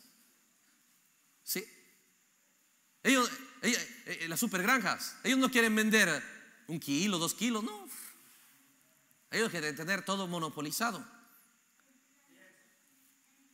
Esos son la unción de ellos, porque eso eran los días de Noé. Esos eran los días de la Mec. Ellos no quieren un canto que hable verdaderamente con respeto, que hable de ánimo. No, no, no. Ellos no pueden, no, no, no, no pueden hacer eso, porque es el poder destructor operando en sus vidas, operando en, esa, en ese tipo de vida. Entonces, se acabó los cantos antiguos que de gente que era, ¿ve? antes cantaban y todo normal. No, no, se acabó eso. Se acabó los bailes o las fiestas correctas. No, ahora todo, tenía que, todo tiene que ser inmoral. Todo tiene que ser como en los días de la Mec. Se acabó de la mujer que llegaba pues a su matrimonio como debe ser. Se acabó de eso. Ahora son los días de Naama. Y el profeta cuando yo le muestro la visión dice, eso llegará, ese objetivo llegará a cumplirse después de la Segunda Guerra Mundial. ¿Por qué? No fue fácil para estos espíritus operar así. ¿Por qué? Porque la gente antes de la Primera Guerra Mundial estaban acostumbrados, ve usted, a tener respeto los unos por los otros. Estaban acostumbrados a que hay un Dios. Porque había habido grandes mover de Dios, ya sea en Inglaterra, en Alemania, el Evangelio había corrido tanto en los días de Wesley. Estados Unidos completamente era cristiano y todas sus leyes estaban basadas en la Biblia. Cuando estos seres vinieron a escena, no podían encontrar gente, porque la gente no aceptaba. Vinieron estos, seres, tal vez a una jovencita, y le proponían ser una nama. No, mi mamá, ¿qué? Eso es un escándalo. No, se resistía y ningún espíritu puede entrar hasta que la persona no lo anhele, no lo desee. ¿Se da cuenta? Hasta que no lo anhelen, no lo deseen, no podían entrar esos espíritus. Le proponían al hombre, ve usted, ser un adúltero, ser un mujeriego como la Mec. No, y mi familia, mis hijos van a sufrir. No, no, no, no. Y se resistía. Salieron en la Primera Guerra Mundial.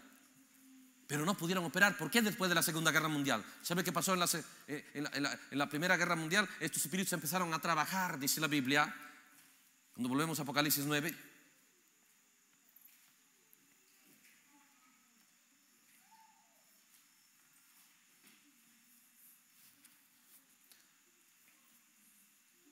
Decía el versículo 2, cuando se abrió el pozo del abismo subió humo del pozo como un humo de un gran horno, oscureció el sol y el aire por el humo del pozo. Lo primero que iba a trabajar este espíritu, ¿por qué, esta gente? Porque esta gente había recibido la Biblia después de casi dos mil años. Desde, desde, el siglo XV de Lutero que empezó a esparcir la Biblia y eso trajo un respeto a Dios, trajo una vida moral y todo por el estilo. Entonces, estos espíritus saben que para que venga y sean los días de Nahama, que son el mundo de ellos, Primero hay que trabajar en la esfera sobrenatural y buscar escurecer el sol, no el sol natural, el sol de justicia. Buscar sacar la palabra de Dios fuera de escena, pero ¿cómo? Si por dos mil años lo han prohibido y no han podido, ¿cómo entonces? ¿Se da cuenta? Y luego contaminar la atmósfera, el aire. Se oscureció el sol y el aire por el humo del pozo. Porque hay leyes. Traer a escena una atmósfera donde no haya nada de respeto al hogar, donde no haya nada de respeto a, las jovencitas, no haya nada de respeto a los muchachos. Se trabajó por eso. No se logró. Entonces, Satanás recibió la orden aquí. No se logró como debería ser, se alejó la Biblia, se da cuenta que eran los días de los pentecostales. Y luego se trabajó arduamente para desacreditar la Biblia, pero ahí estuvo el hermano Branham en sus días. Y vio la visión en el 33. Pero aquí en el versículo 13 dice, el sexto ángel tocó la trompeta y oí uno de los cuatro, una voz de, entre los cuatro cuernos del altar de oro que estaba delante de Dios, diciendo al sexto ángel que tenía la trompeta, desata los cuatro ángeles que están atados junto eh, al gran río Éufrates. Y fueron desatados los cuatro ángeles que estaban preparados para la hora, día y mes y año para matar la tercera parte de los hombres. Y oí el número de los ejércitos de los jinetes, era 200 millones. Yo oí su número. Ahora salen estos seres sobrenaturales y se da cuenta que se produjo dos guerras. ¿Cuál era el objetivo de las guerras? ¿Por qué guerras?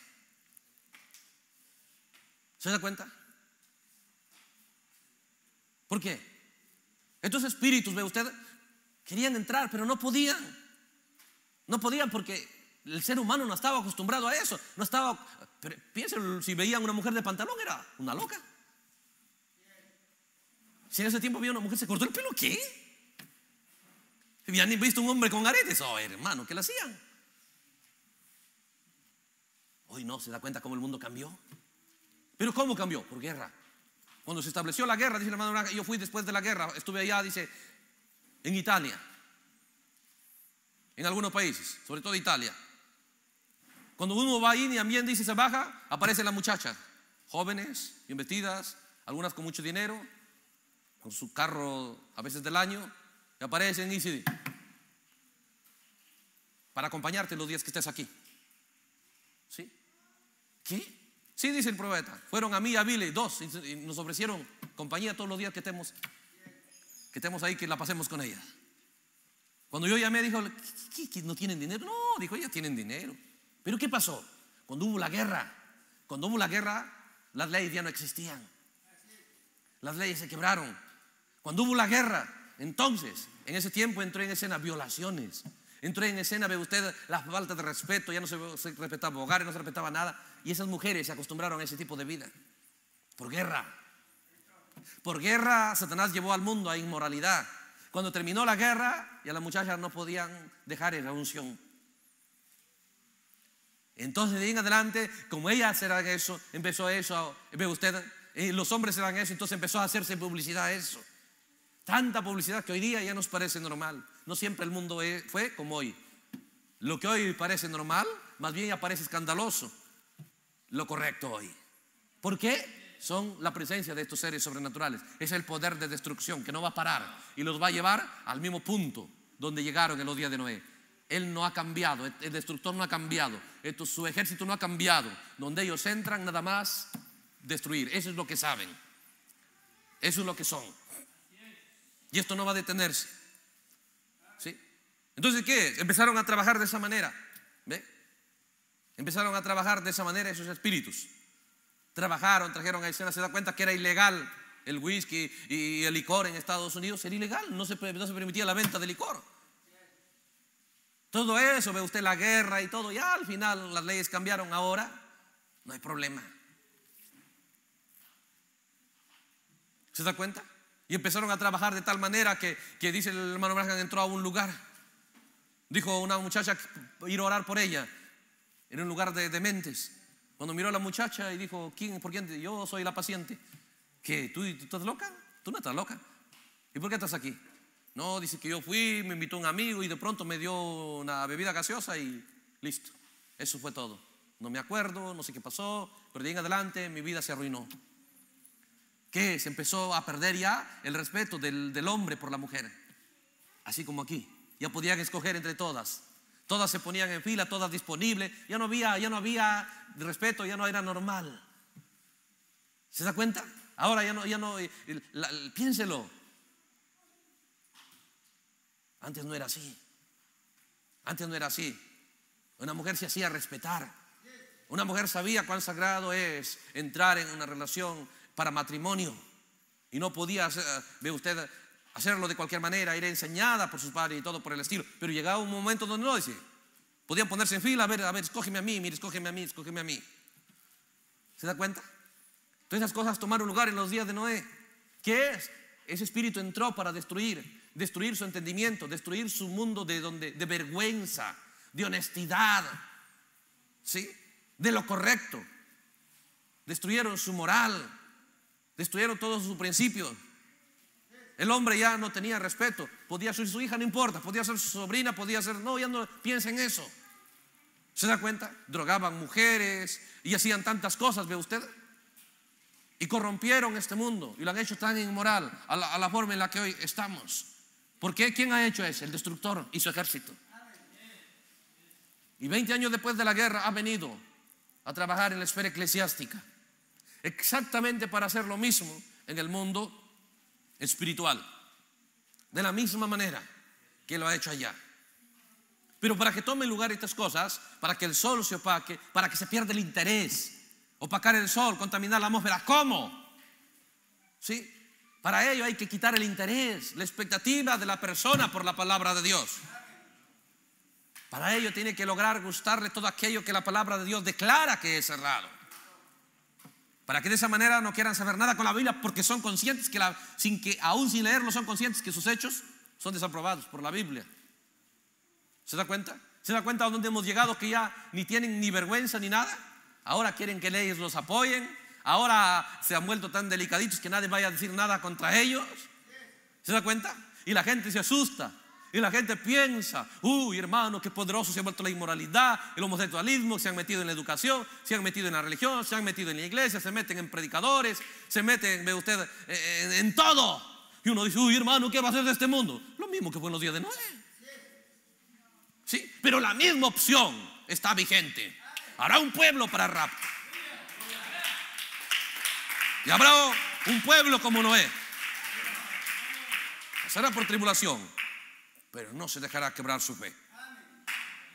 Simplemente lo mismo. Pero esto es cosa sobrenatural, así como lo sobrenatural ha venido a escena y ha trabajado. Lo sobrenatural del infierno. Y ha traído a escena costumbres, y ha traído a escena entendimientos y conceptos de lo que son las cosas cuando es mentira, ha traído a escena la mentira. Todo es mentira lo que dice. Dice que hoy normal debe haber respeto, debe haber baños no tiene que ser de hombres y de mujeres, eso es discriminación. Tiene que ser baños para ambos. Porque por momentos el hombre quiere ser mujer y por momentos si quiere, si quiere ser mujer puede ir al baño de mujeres. Si quiere ser hombre puede ir al baño de hombre. Tiene que haber eso. Y todas esas cosas. Tiene que haber en la escuela eso y la gente está prestando tanto atención a eso y se hace esas cosas. Y uno dice, mira qué tremendo. Simplemente Sabadón y Apoleón. Destruyéndoles a la gente y preparándoles para su aniquilación, para su destrucción. Porque cuando uno entra, ve usted, a ese mundo donde le gusta esas cosas, donde le entrega el control de esos gustos, de esos deseos, para que se manifiesten en su vida, simplemente no quedará más que ceniza. Porque la destrucción, esos espíritus no se detienen. Hoy destruyen su moral de hombre, su moral de dama, su moral de creyente, su moral, ve usted, de, ser humano, su moral de esposo. Hoy lo destruye. Más adelante, destrucción total. Esa destrucción no parará. No parará. Pero paralelo a eso, el Apocalipsis 10, el cielo ha descendido. Paralelo a eso. Paralelo a un mundo donde no estamos acostumbrados. No estamos acostumbrados ahí como no estaban acostumbrados a ser, a ser adúlteros. No estaban acostumbrados en ese tiempo. Un adúltero, uy, que ni lo sepan, qué vergüenza. Qué vergüenza que me digan que soy adúltero. ¿Sí? Qué vergüenza, oh, que digan que, que, alguien sea afeminado era un reproche terrible. ¿Cómo se sentían los padres? Oh, era una mancha terrible. No, hoy es al revés. Hoy es al revés. Entonces esos espíritus no pudieron entrar, tuvo que ser por guerra, a través de las guerras. Trajeron a escena esa inmoralidad por la fuerza. Trajeron a escena esa inmoralidad. Ve usted donde llevaron a los judíos, a las muchachitas judías, lo prostituyeron, a los jóvenes judíos también los prostituyeron. Los hicieron tan inmorales que eso no se han librado hasta ahora. Por eso Jerusalén llega a ser Sodoma y Egipto. Aquí en la Biblia llega a ser eso. ¿Por qué? Porque es el efecto de estas guerras. Es el efecto del destructor. Es el efecto de Apocalipsis 9. Eso no ha salido fuera de escena. Jerusalén, en el mundo espiritual, es Sodoma y Egipto. Puede ver Apocalipsis 11, donde muere Moisés y Elías, donde nuestro Señor fue crucificado. Si no leamos rápidamente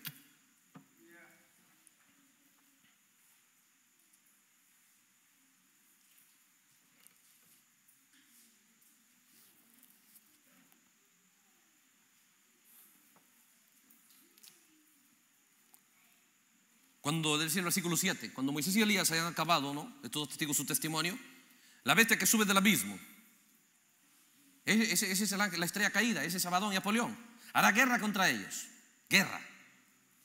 Y los vencerá y los matará. Y sus cadáveres estarán en la plaza de la gran ciudad, que en sentido espiritual se llama Sodoma y Egipto, donde también nuestro Señor fue crucificado. Ese es Israel. ¿Por qué quiere Sodoma? ¿Ve usted? El mundo, ve usted, de homosexualismo, de inmoralidad. Pero ellos, ellos se acostumbraron después de la guerra a eso. Porque en la guerra, ve usted, lo llevaron, lo metieron a ese mundo. Se da cuenta que después de la guerra Estados Unidos fue allá y ayudó a los franceses y todo el, ejército del infierno fue y se instaló en Hollywood. La invasión de Estados Unidos es paralelo el obrar de Dios. Usted no vaya a pensar, estamos, estamos ve usted, no va, no va a entrar dentro de nosotros esas costumbres cerradas. Así como opera aquí en este mundo, esas cosas cerradas están ahí, esa misma realidad está en nuestro mundo. Esa misma realidad está en nuestro mundo. La misma realidad. ¿Y cómo va a salir fuera de escena? Por eso es importante mirarlo desde la esfera de las trompetas. ¿Cómo saldrá fuera de escena de la tierra? De este mundo. ¿Cómo saldrá fuera de escena? Como los días de no, ¿cómo salió fuera de escena? Este mundo de, destrucción, de Abadón, de Apolión. ¿Cómo salió fuera de escena? ¿Ve usted? Por el diluvio. El diluvio, ¿qué era? ¿Ve usted? El poder que elevó el arca hacia Ararat, hacia la montaña más alta. Pero fue destrucción para ellos. ¿Cómo saldrá fuera de escena de este mundo? Por, por la tercera guerra mundial, por el tercer ay. Por fuego saldrá fuera de escena. ¿Cómo va a salir fuera de escena? ¿Cómo va a salir? Es el mismo mundo, el mundo de destrucción, el mundo de inmoralidad. Así como está en la tierra, está en nuestra tierra. Y eso es lo que evita. Busca que el sol esté fuera de escena. Busca que la atmósfera esté fuera de escena. Busca mantenernos a nosotros alejados de la palabra de Dios y en una atmósfera que nuestros pensamientos no estén pensando las verdades de la palabra de Dios, como debe ser. No estén interesados en sus objetivos por las verdades de la palabra de Dios como debe ser. ¿Cómo va a salir fuera de escena? Por juicio. Por juicio. ¿Quién va a traer? ¿Quién va? Se da cuenta, Dios ha decretado los juicios sobre la tierra, pero usted depende. Usted puede, Dios muestra eso en la Biblia, lo que va a pasar con la tierra natural, para mostrarla a usted. Cómo de usted debe liberar su tierra. No, es, no se van a ir esos seres así por así. Es por guerra. Es lo mismo cuando Dios miró. Cuando nosotros damos cuenta, ya volvemos rápidamente a Génesis. Capítulo 6, dice el versículo 5. Vio Jehová que la maldad de los hombres era mucha sobre, en la tierra y que todo designio de los pensamientos del corazón de ellos era de continuo solamente el mal. Vio Jehová eso.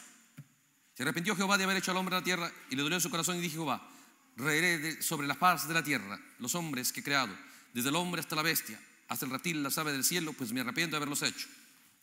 No he yo gracia Dios. Dios vio lo mismo cuando usted examina dentro de usted, usted no va a encontrar apoyo dentro de usted a las cosas de Dios. No.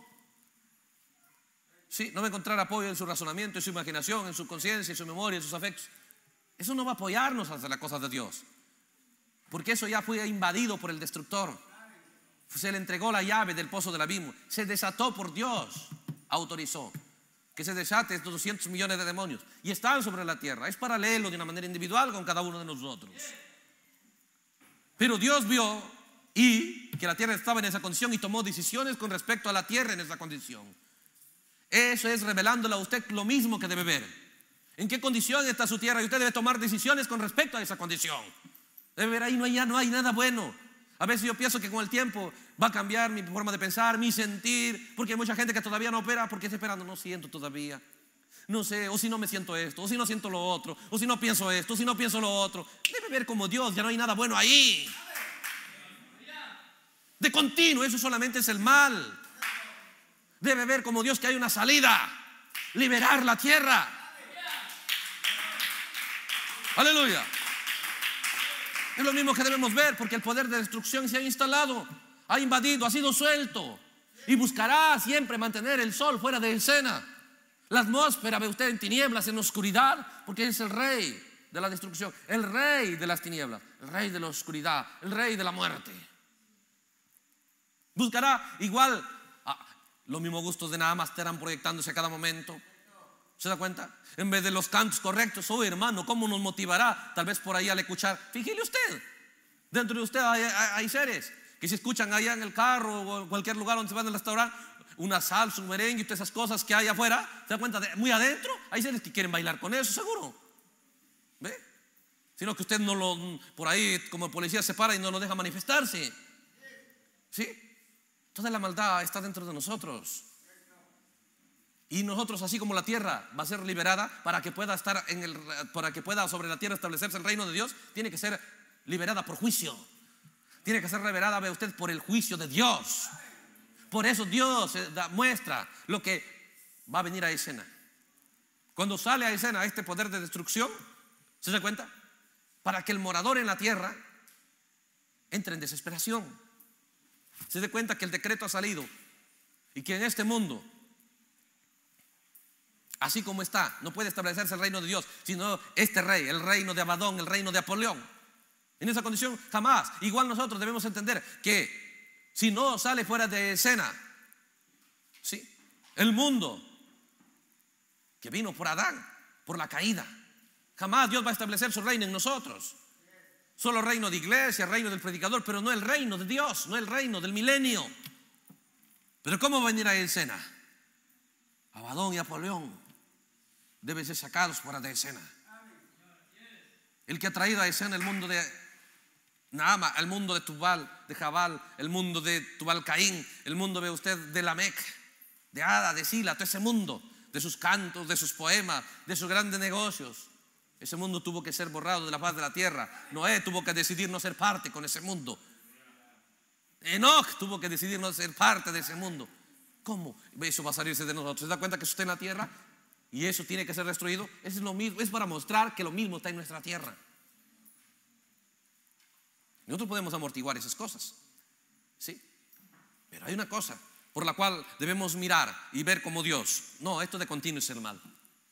Y es que debe salir fuera de escena y traer a escena que era aquello donde no iba a entrar el arca, que era aquello donde lo iba a llevar en el rapto, la pirámide. Vamos a ver a Cristo, vamos a ver a la palabra de Dios. ¿Se da cuenta? Por eso es lo glorioso y lo indispensable que la palabra de Dios sea hecha protagonista. ¿Por qué? Estamos conectados. Simplemente las cosas que suceden aquí en la tierra es paralelo. Estamos conectados porque usted mire, aquí. en Génesis 4.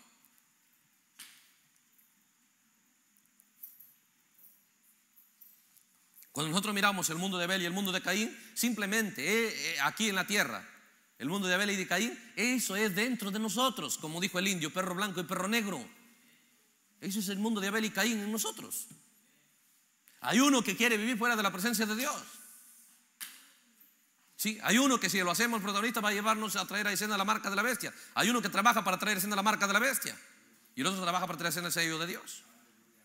Ese es el mundo del alma y el mundo de la invasión que ha hecho Satanás en nosotros, pero tan parecido como que fuera nosotros mismos. Así parecía Caín, como que fuera hermano de Abel. No era hermano de Abel. No era de la misma sangre de Abel, pero parecía. Sí, sí, sí, mamaron los mismos senos, bajo la misma madre, estuvieron en el mismo vientre. al mismo hombre decían papá. Ah, sí, parece que la vida que vivimos sin Dios parece que es afuera, fuéramos nosotros. No, sin Dios no somos nosotros. ¿Qué cree que nos hace mantenernos que la luz de Dios, la luz de la palabra de Dios, el sol, esté un poco oscuro y nublado para nosotros? Ese es el mundo del infierno. Es el mundo que sale del, infierno, que el sol esté un poco nublado, que los temas de la palabra de Dios sean un poco nublados. ¿Qué nos hace contentarnos con eso? El mundo del infierno que ha salido a nuestra vida. ¿Sí?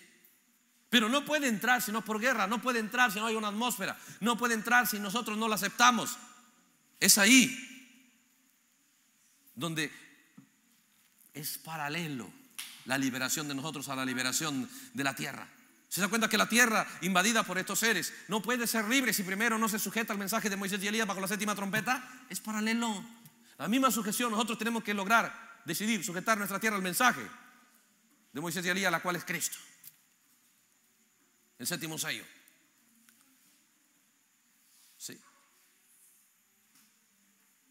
Entonces, cuando nosotros miramos aquí, dice,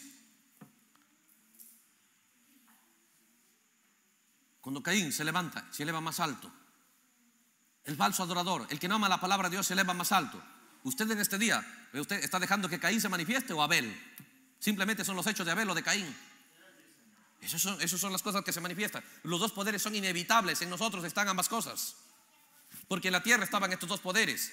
Y lo que hay en la tierra es paralelo a lo que está dentro de nosotros de una manera, ve usted, espiritual. Aquí de una manera natural, de una manera espiritual está en nosotros estos dos personajes. ¿Sí? Entonces, ¿se da cuenta que luego termina una guerra, uno mata al otro? ¿Sí? Y cuando Dios vino a escena y nos damos cuenta que Abel murió, y Dios le dice, en el versículo 9, Jehová dijo a Caín, ¿dónde está Abel tu hermano? Y él respondió, no sé, ¿soy yo acaso guarda de mi hermano? Y él dijo, ¿qué has hecho? La voz de la sangre de tu hermano clama a mí desde la tierra. Ese adorador correcto es el alma, hermanos. Es el alma. El otro es el mundo de Caín, que, por causa de la caída Caín se metió en el hogar. Por causa de la caída otro extraño ha tomado el control. Otro se cree el jefe, otro trae a escena falsa adoración. El alma suya nunca podría disfrutar nada fuera de la palabra de Dios. Nunca podía adorar falsamente. No podría, pero es el mundo de Caín, que por la caída se ha metido en nuestro mundo, se ha metido en nuestro hogar. Y ese no quiere saber nada con el alma, es su enemigo, odia, detesta al alma. Son dos seres, aunque parezca uno, son dos. Si usted se prestara, así quedara bien quieto y empezara adentro de usted a mirar, se da cuenta que hay dos. No hay uno, hay dos. Hay uno que sí jala la palabra de Dios y lo disfruta. Pero hay otro que dice, no, después, tranquilo. ¿Acaso no dijo Pablo miserable de ese hombre? El que no quiero hacer, eso hago. Y lo que quiero hacer no hago. Hay uno miserable.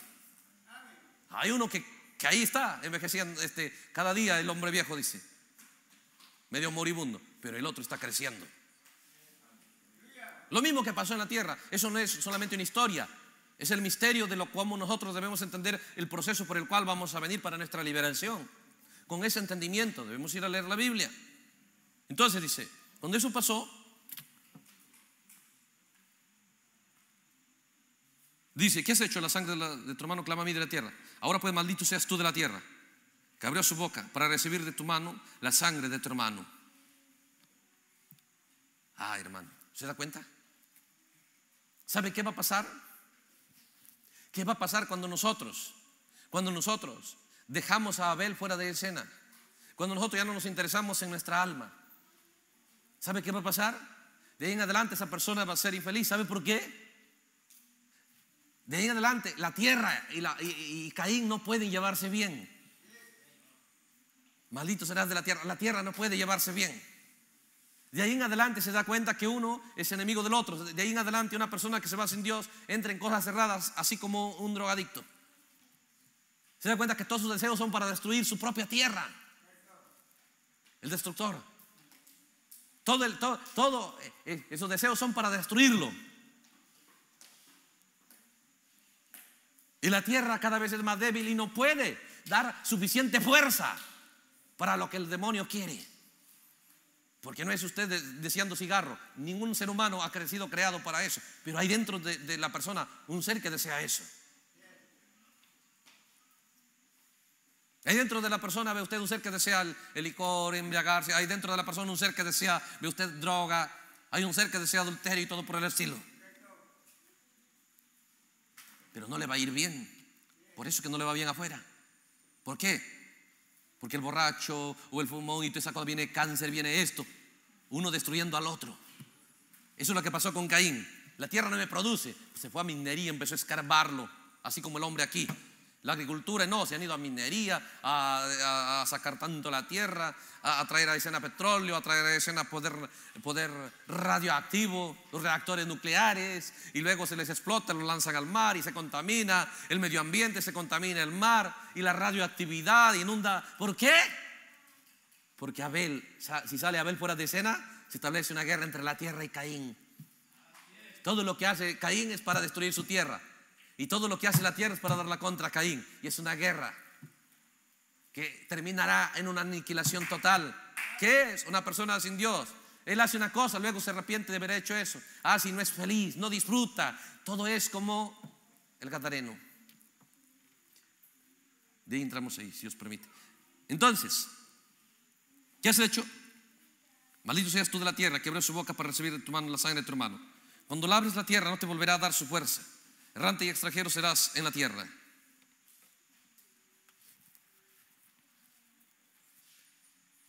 ¿Se da cuenta? Dios le dice lo que va a pasar, Dios le dice, vuelve en sí, Dios el profeta dice, le está ofreciendo arrepentimiento.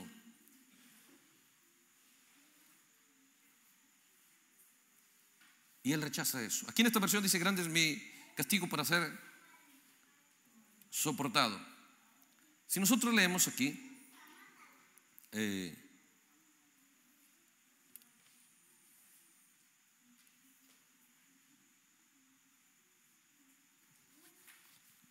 en la versión antigua,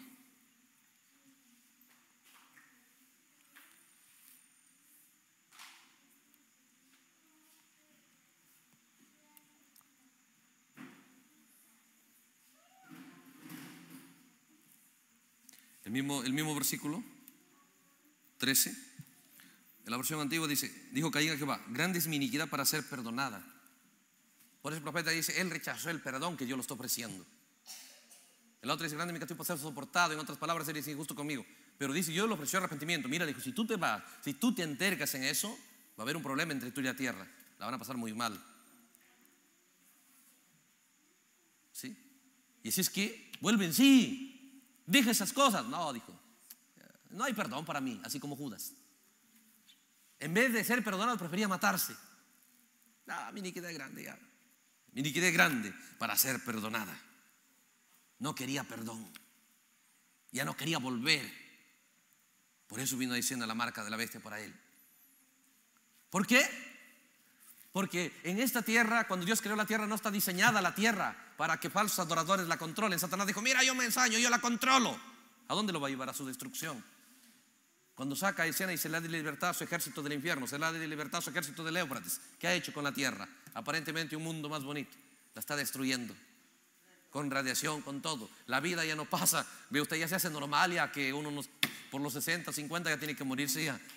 No, antes era por los 120, los 130. Por los 80 eran jóvenes todavía. Pero cada día se va reduciendo. ¿Por qué? Porque tomó lugar el mundo del destructor, el mundo de la Mec, y, eso, y la muerte va avanzando cada vez más. Cada vez más. Ya a los 30 uno está viejo ya. ¿Sí? A veces a los 20 ya no puede hacer nada. Entonces cuando miramos estas cosas, nos damos cuenta cómo es que Caín rechazó esta, este, esta oferta de Dios de arrepentimiento. Pero Dios le dice, mira, tú serás maldito de la tierra. Cuando tú hagas la tierra ya no te va a volver su fuerza. La tierra va a debilitarse para ti. No va a ser favorable.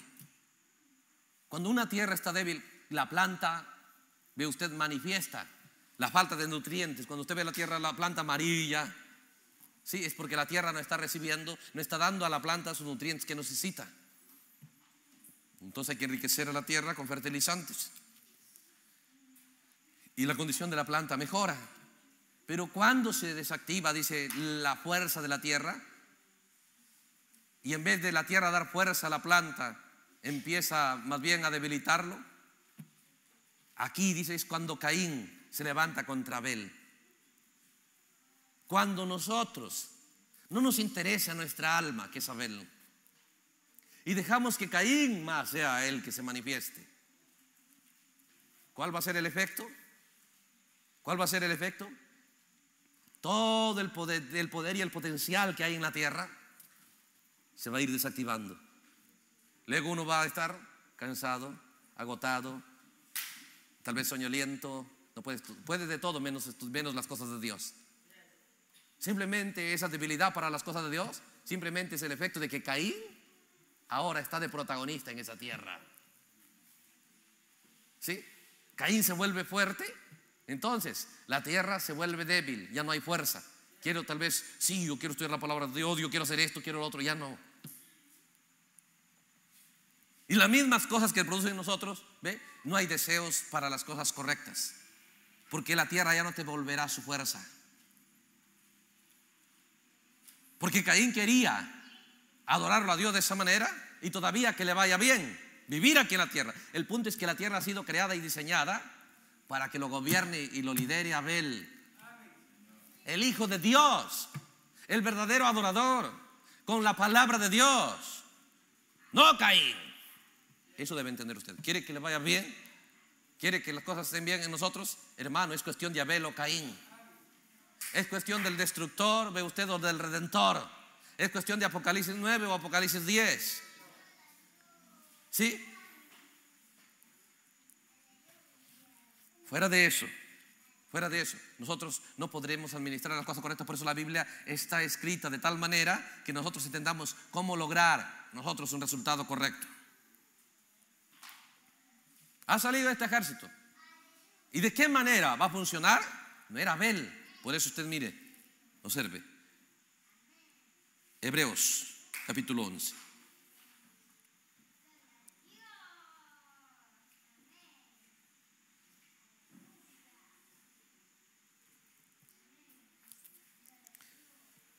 Dice el versículo 4. Hebreos 11, 4.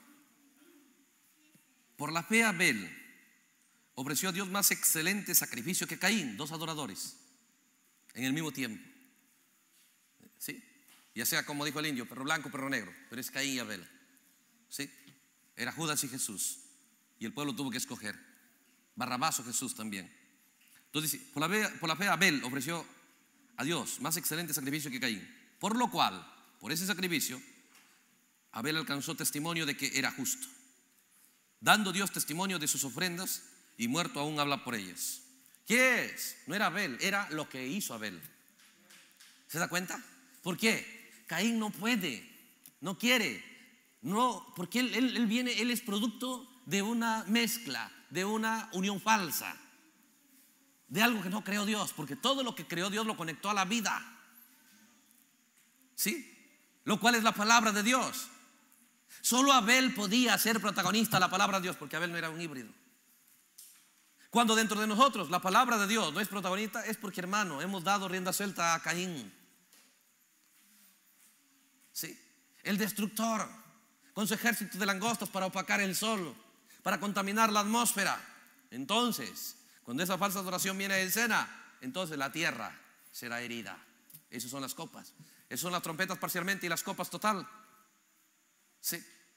¿Qué es? La tierra empieza a perder su fuerza. Por eso que este mundo, ¿se da cuenta? Empezó a, entrar en tanta desgracia. ¿Por qué vino a escena enfermedades? ¿Por qué vino a escena debilidades y todo? Cada persona que vive aquí tiene una tierra, ve usted que ya no le responde. Quisieran ellos hacer más cosas, pero la tierra ya no le responde.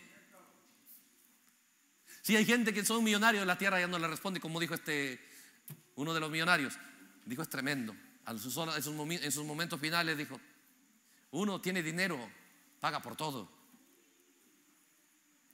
Por todo paga. Llévame, hazme esto, límpiame el edificio, eh, maneja el carro, lávame el carro, haz esto. Por todo paga un abogado, paga todo. Pero dijo, llegamos a un momento donde nos damos cuenta que yo no puedo pagar quien se enferme por mí. No puedo pagar quien tenga dolor por mí. No puedo pagar quien lleve mis dolores. No puedo pagar quien lleve mis debilidades, mi enfermedad. Y no puedo pagar que alguien se muera por mí. llegan a, la hora final, se vuelven sensibles. ¿Pero qué es? ¿Por qué la tierra, su vida, ya no, responde? ¿Por qué? Así es, inevitable. Por eso que aumentará cada día más las debilidades para la tierra. Cada día esos árboles que están en una tierra casi sin nutrientes, cada día esos árboles se vuelven más enfermos, con menos fruto. Cada día, por eso que en las personas aquí en la tierra, sin Cristo, cada día estarán casi con cero de moralidad, con cero, ve usted, de, de principios y valores de humanos, de seres humanos, de personas. Cada día serán más enfermos. ¿Por qué? Porque han, dejado que Caín controle. Y cuando Caín controla, entonces la tierra llega a ser una maldición para Caín.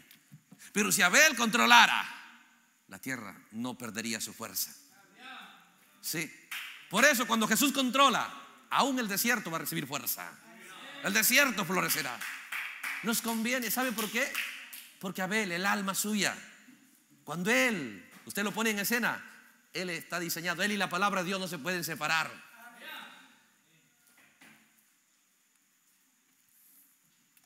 Son uno.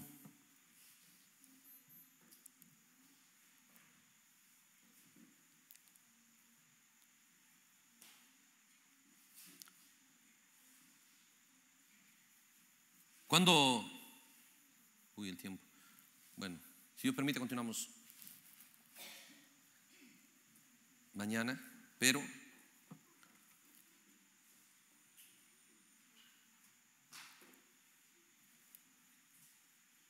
queremos mirar aquí estas cosas entonces nada más.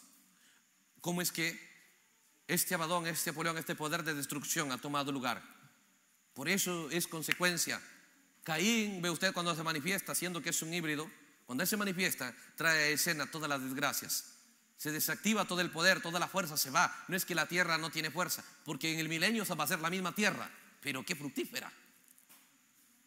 Aquí hay que funigar, hay que hacer esto, hay que hacer lo otro, y la, y gente lucha con cada peste, con cada plaga. Pero ¿qué es lo que hace eso? Caín si camina por la tierra moviéndose, él mismo. Ve usted entra desactivando lo errado. Exactamente dentro de nosotros lo mismo. Exactamente dentro de nosotros es lo mismo. ¿Y cómo sabemos cuál es Caín y cuál es Abel? Déjenlo, que vayan a adorar.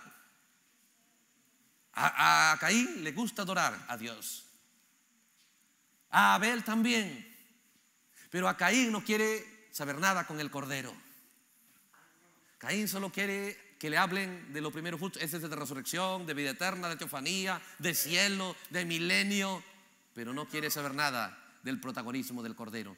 Abel amaba a su cordero, sabía. ¿Ve usted? Que no se puede adorar a Dios sin la fiesta de la Pascua primero. Entonces lo mismo hoy. Satanás trabajará arduamente para traer a escena en este día, dentro de la persona, el mundo de Caín. Es el mundo de destrucción. Si él caminaba, dijo, la tierra empezará a ser destruida en todos sus recursos, todos sus potenciales. Ya no te volverá a traer su fuerza. Antes que sea un falso adorador, antes ve usted que se manifieste como falso adorador, dice que ambos serán, él era un agricultor y la tierra no le, no le quitaba su fuerza. Nada más, vuelva a leer Génesis, capítulo 4. Dice la Biblia.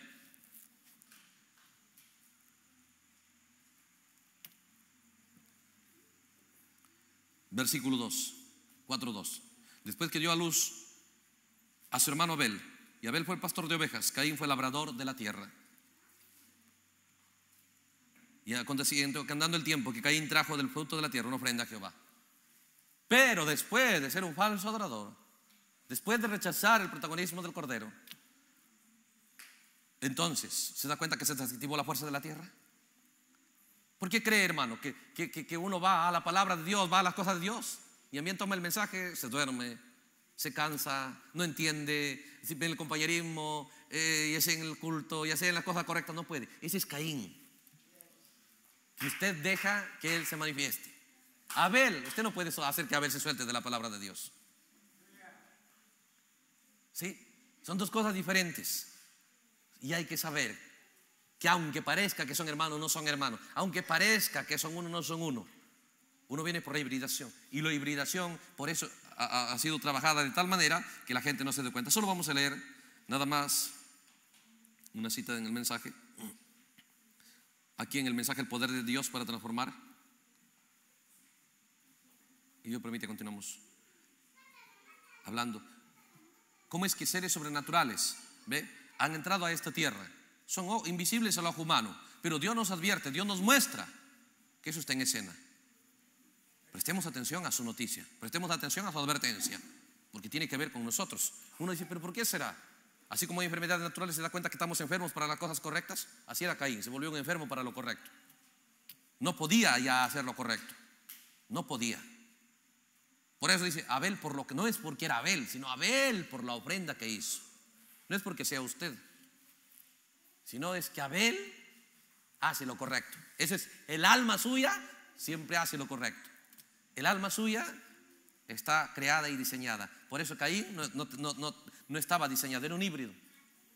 Y mire lo que lo híbrido produce. 137 del mensaje El poder de Dios para transformar. El poder de Dios para transformar. Párrafo 137. ¿Cómo el veneno ha afectado a la iglesia? Ha afectado a la tierra hoy día. El veneno que Satanás puso en las simientes. El veneno que Satanás puso en las simientes. Ha hecho huecos en ella que ha causado que se deformen más y más, y está penetrando en el corazón de las iglesias y en los corazones de la gente y todo. Es ciencia, ciencia. Hasta que ha llegado a un punto en donde la raza humana, por haber sido mezclada, yo creo que cada simiente debería dar conforme a su género. La raza humana y las plantas y todo ha sido mezclado. Y nos ha traído a un lugar en que el comer nuestro alimento proveniente de la tierra ha hecho híbrido a nuestros cuerpos y ha puesto a nuestras mentes, en la condición que está, por alimento. Por eso le digo, tuvieron que venir ciencia para qué? Ciencia, esos científicos espirituales, esos diablos tuvieron que trabajar y, trabajar y traer a escena las mismas, la misma, el mismo sistema alimenticio que fue en los días de Jabal y, y Jubal. ¿Por qué? Porque eso es necesario. Sin alimento, Satanás no podría meterse en la gente, sin alimento híbrido. Porque sabe Satanás, el cuerpo suyo no está diseñado para el alimento híbrido. Pero por el alimento híbrido, al entrar en el cuerpo de nosotros, mire lo que va a pasar. Es lo mismo que entró en la iglesia, dice.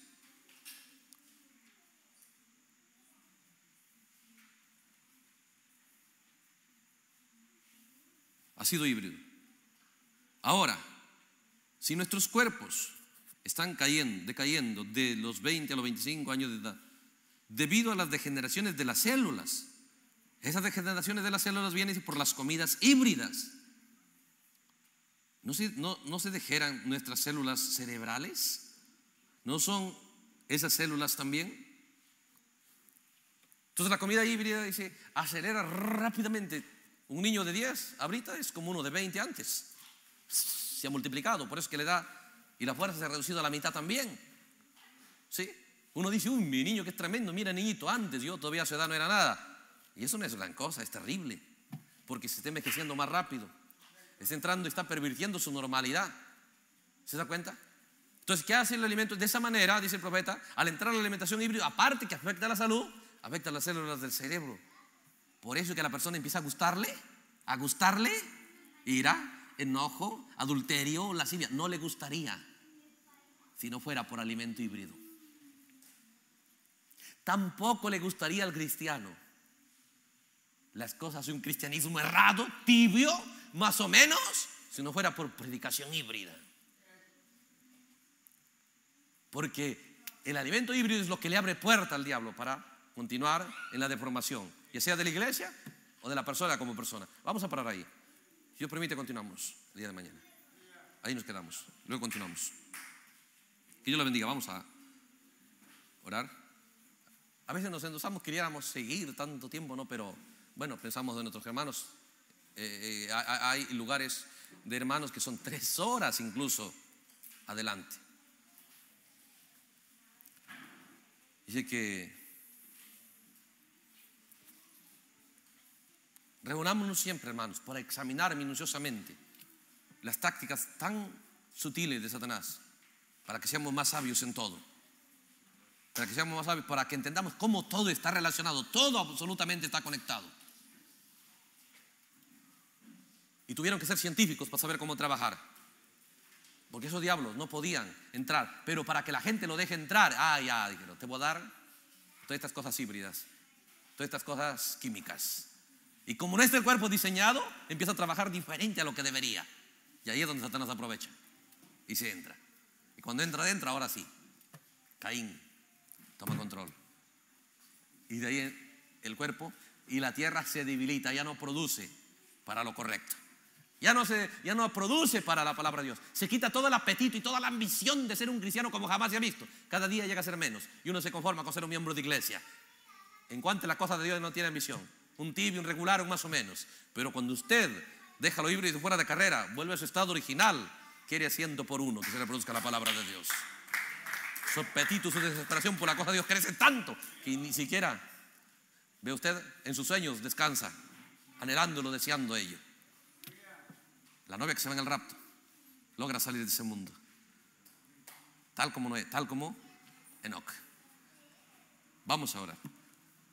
Señor Jesús, queremos agradecerte por tu palabra, por tu bondad y por la atmósfera en la que nos podemos, Señor, envolver en ella.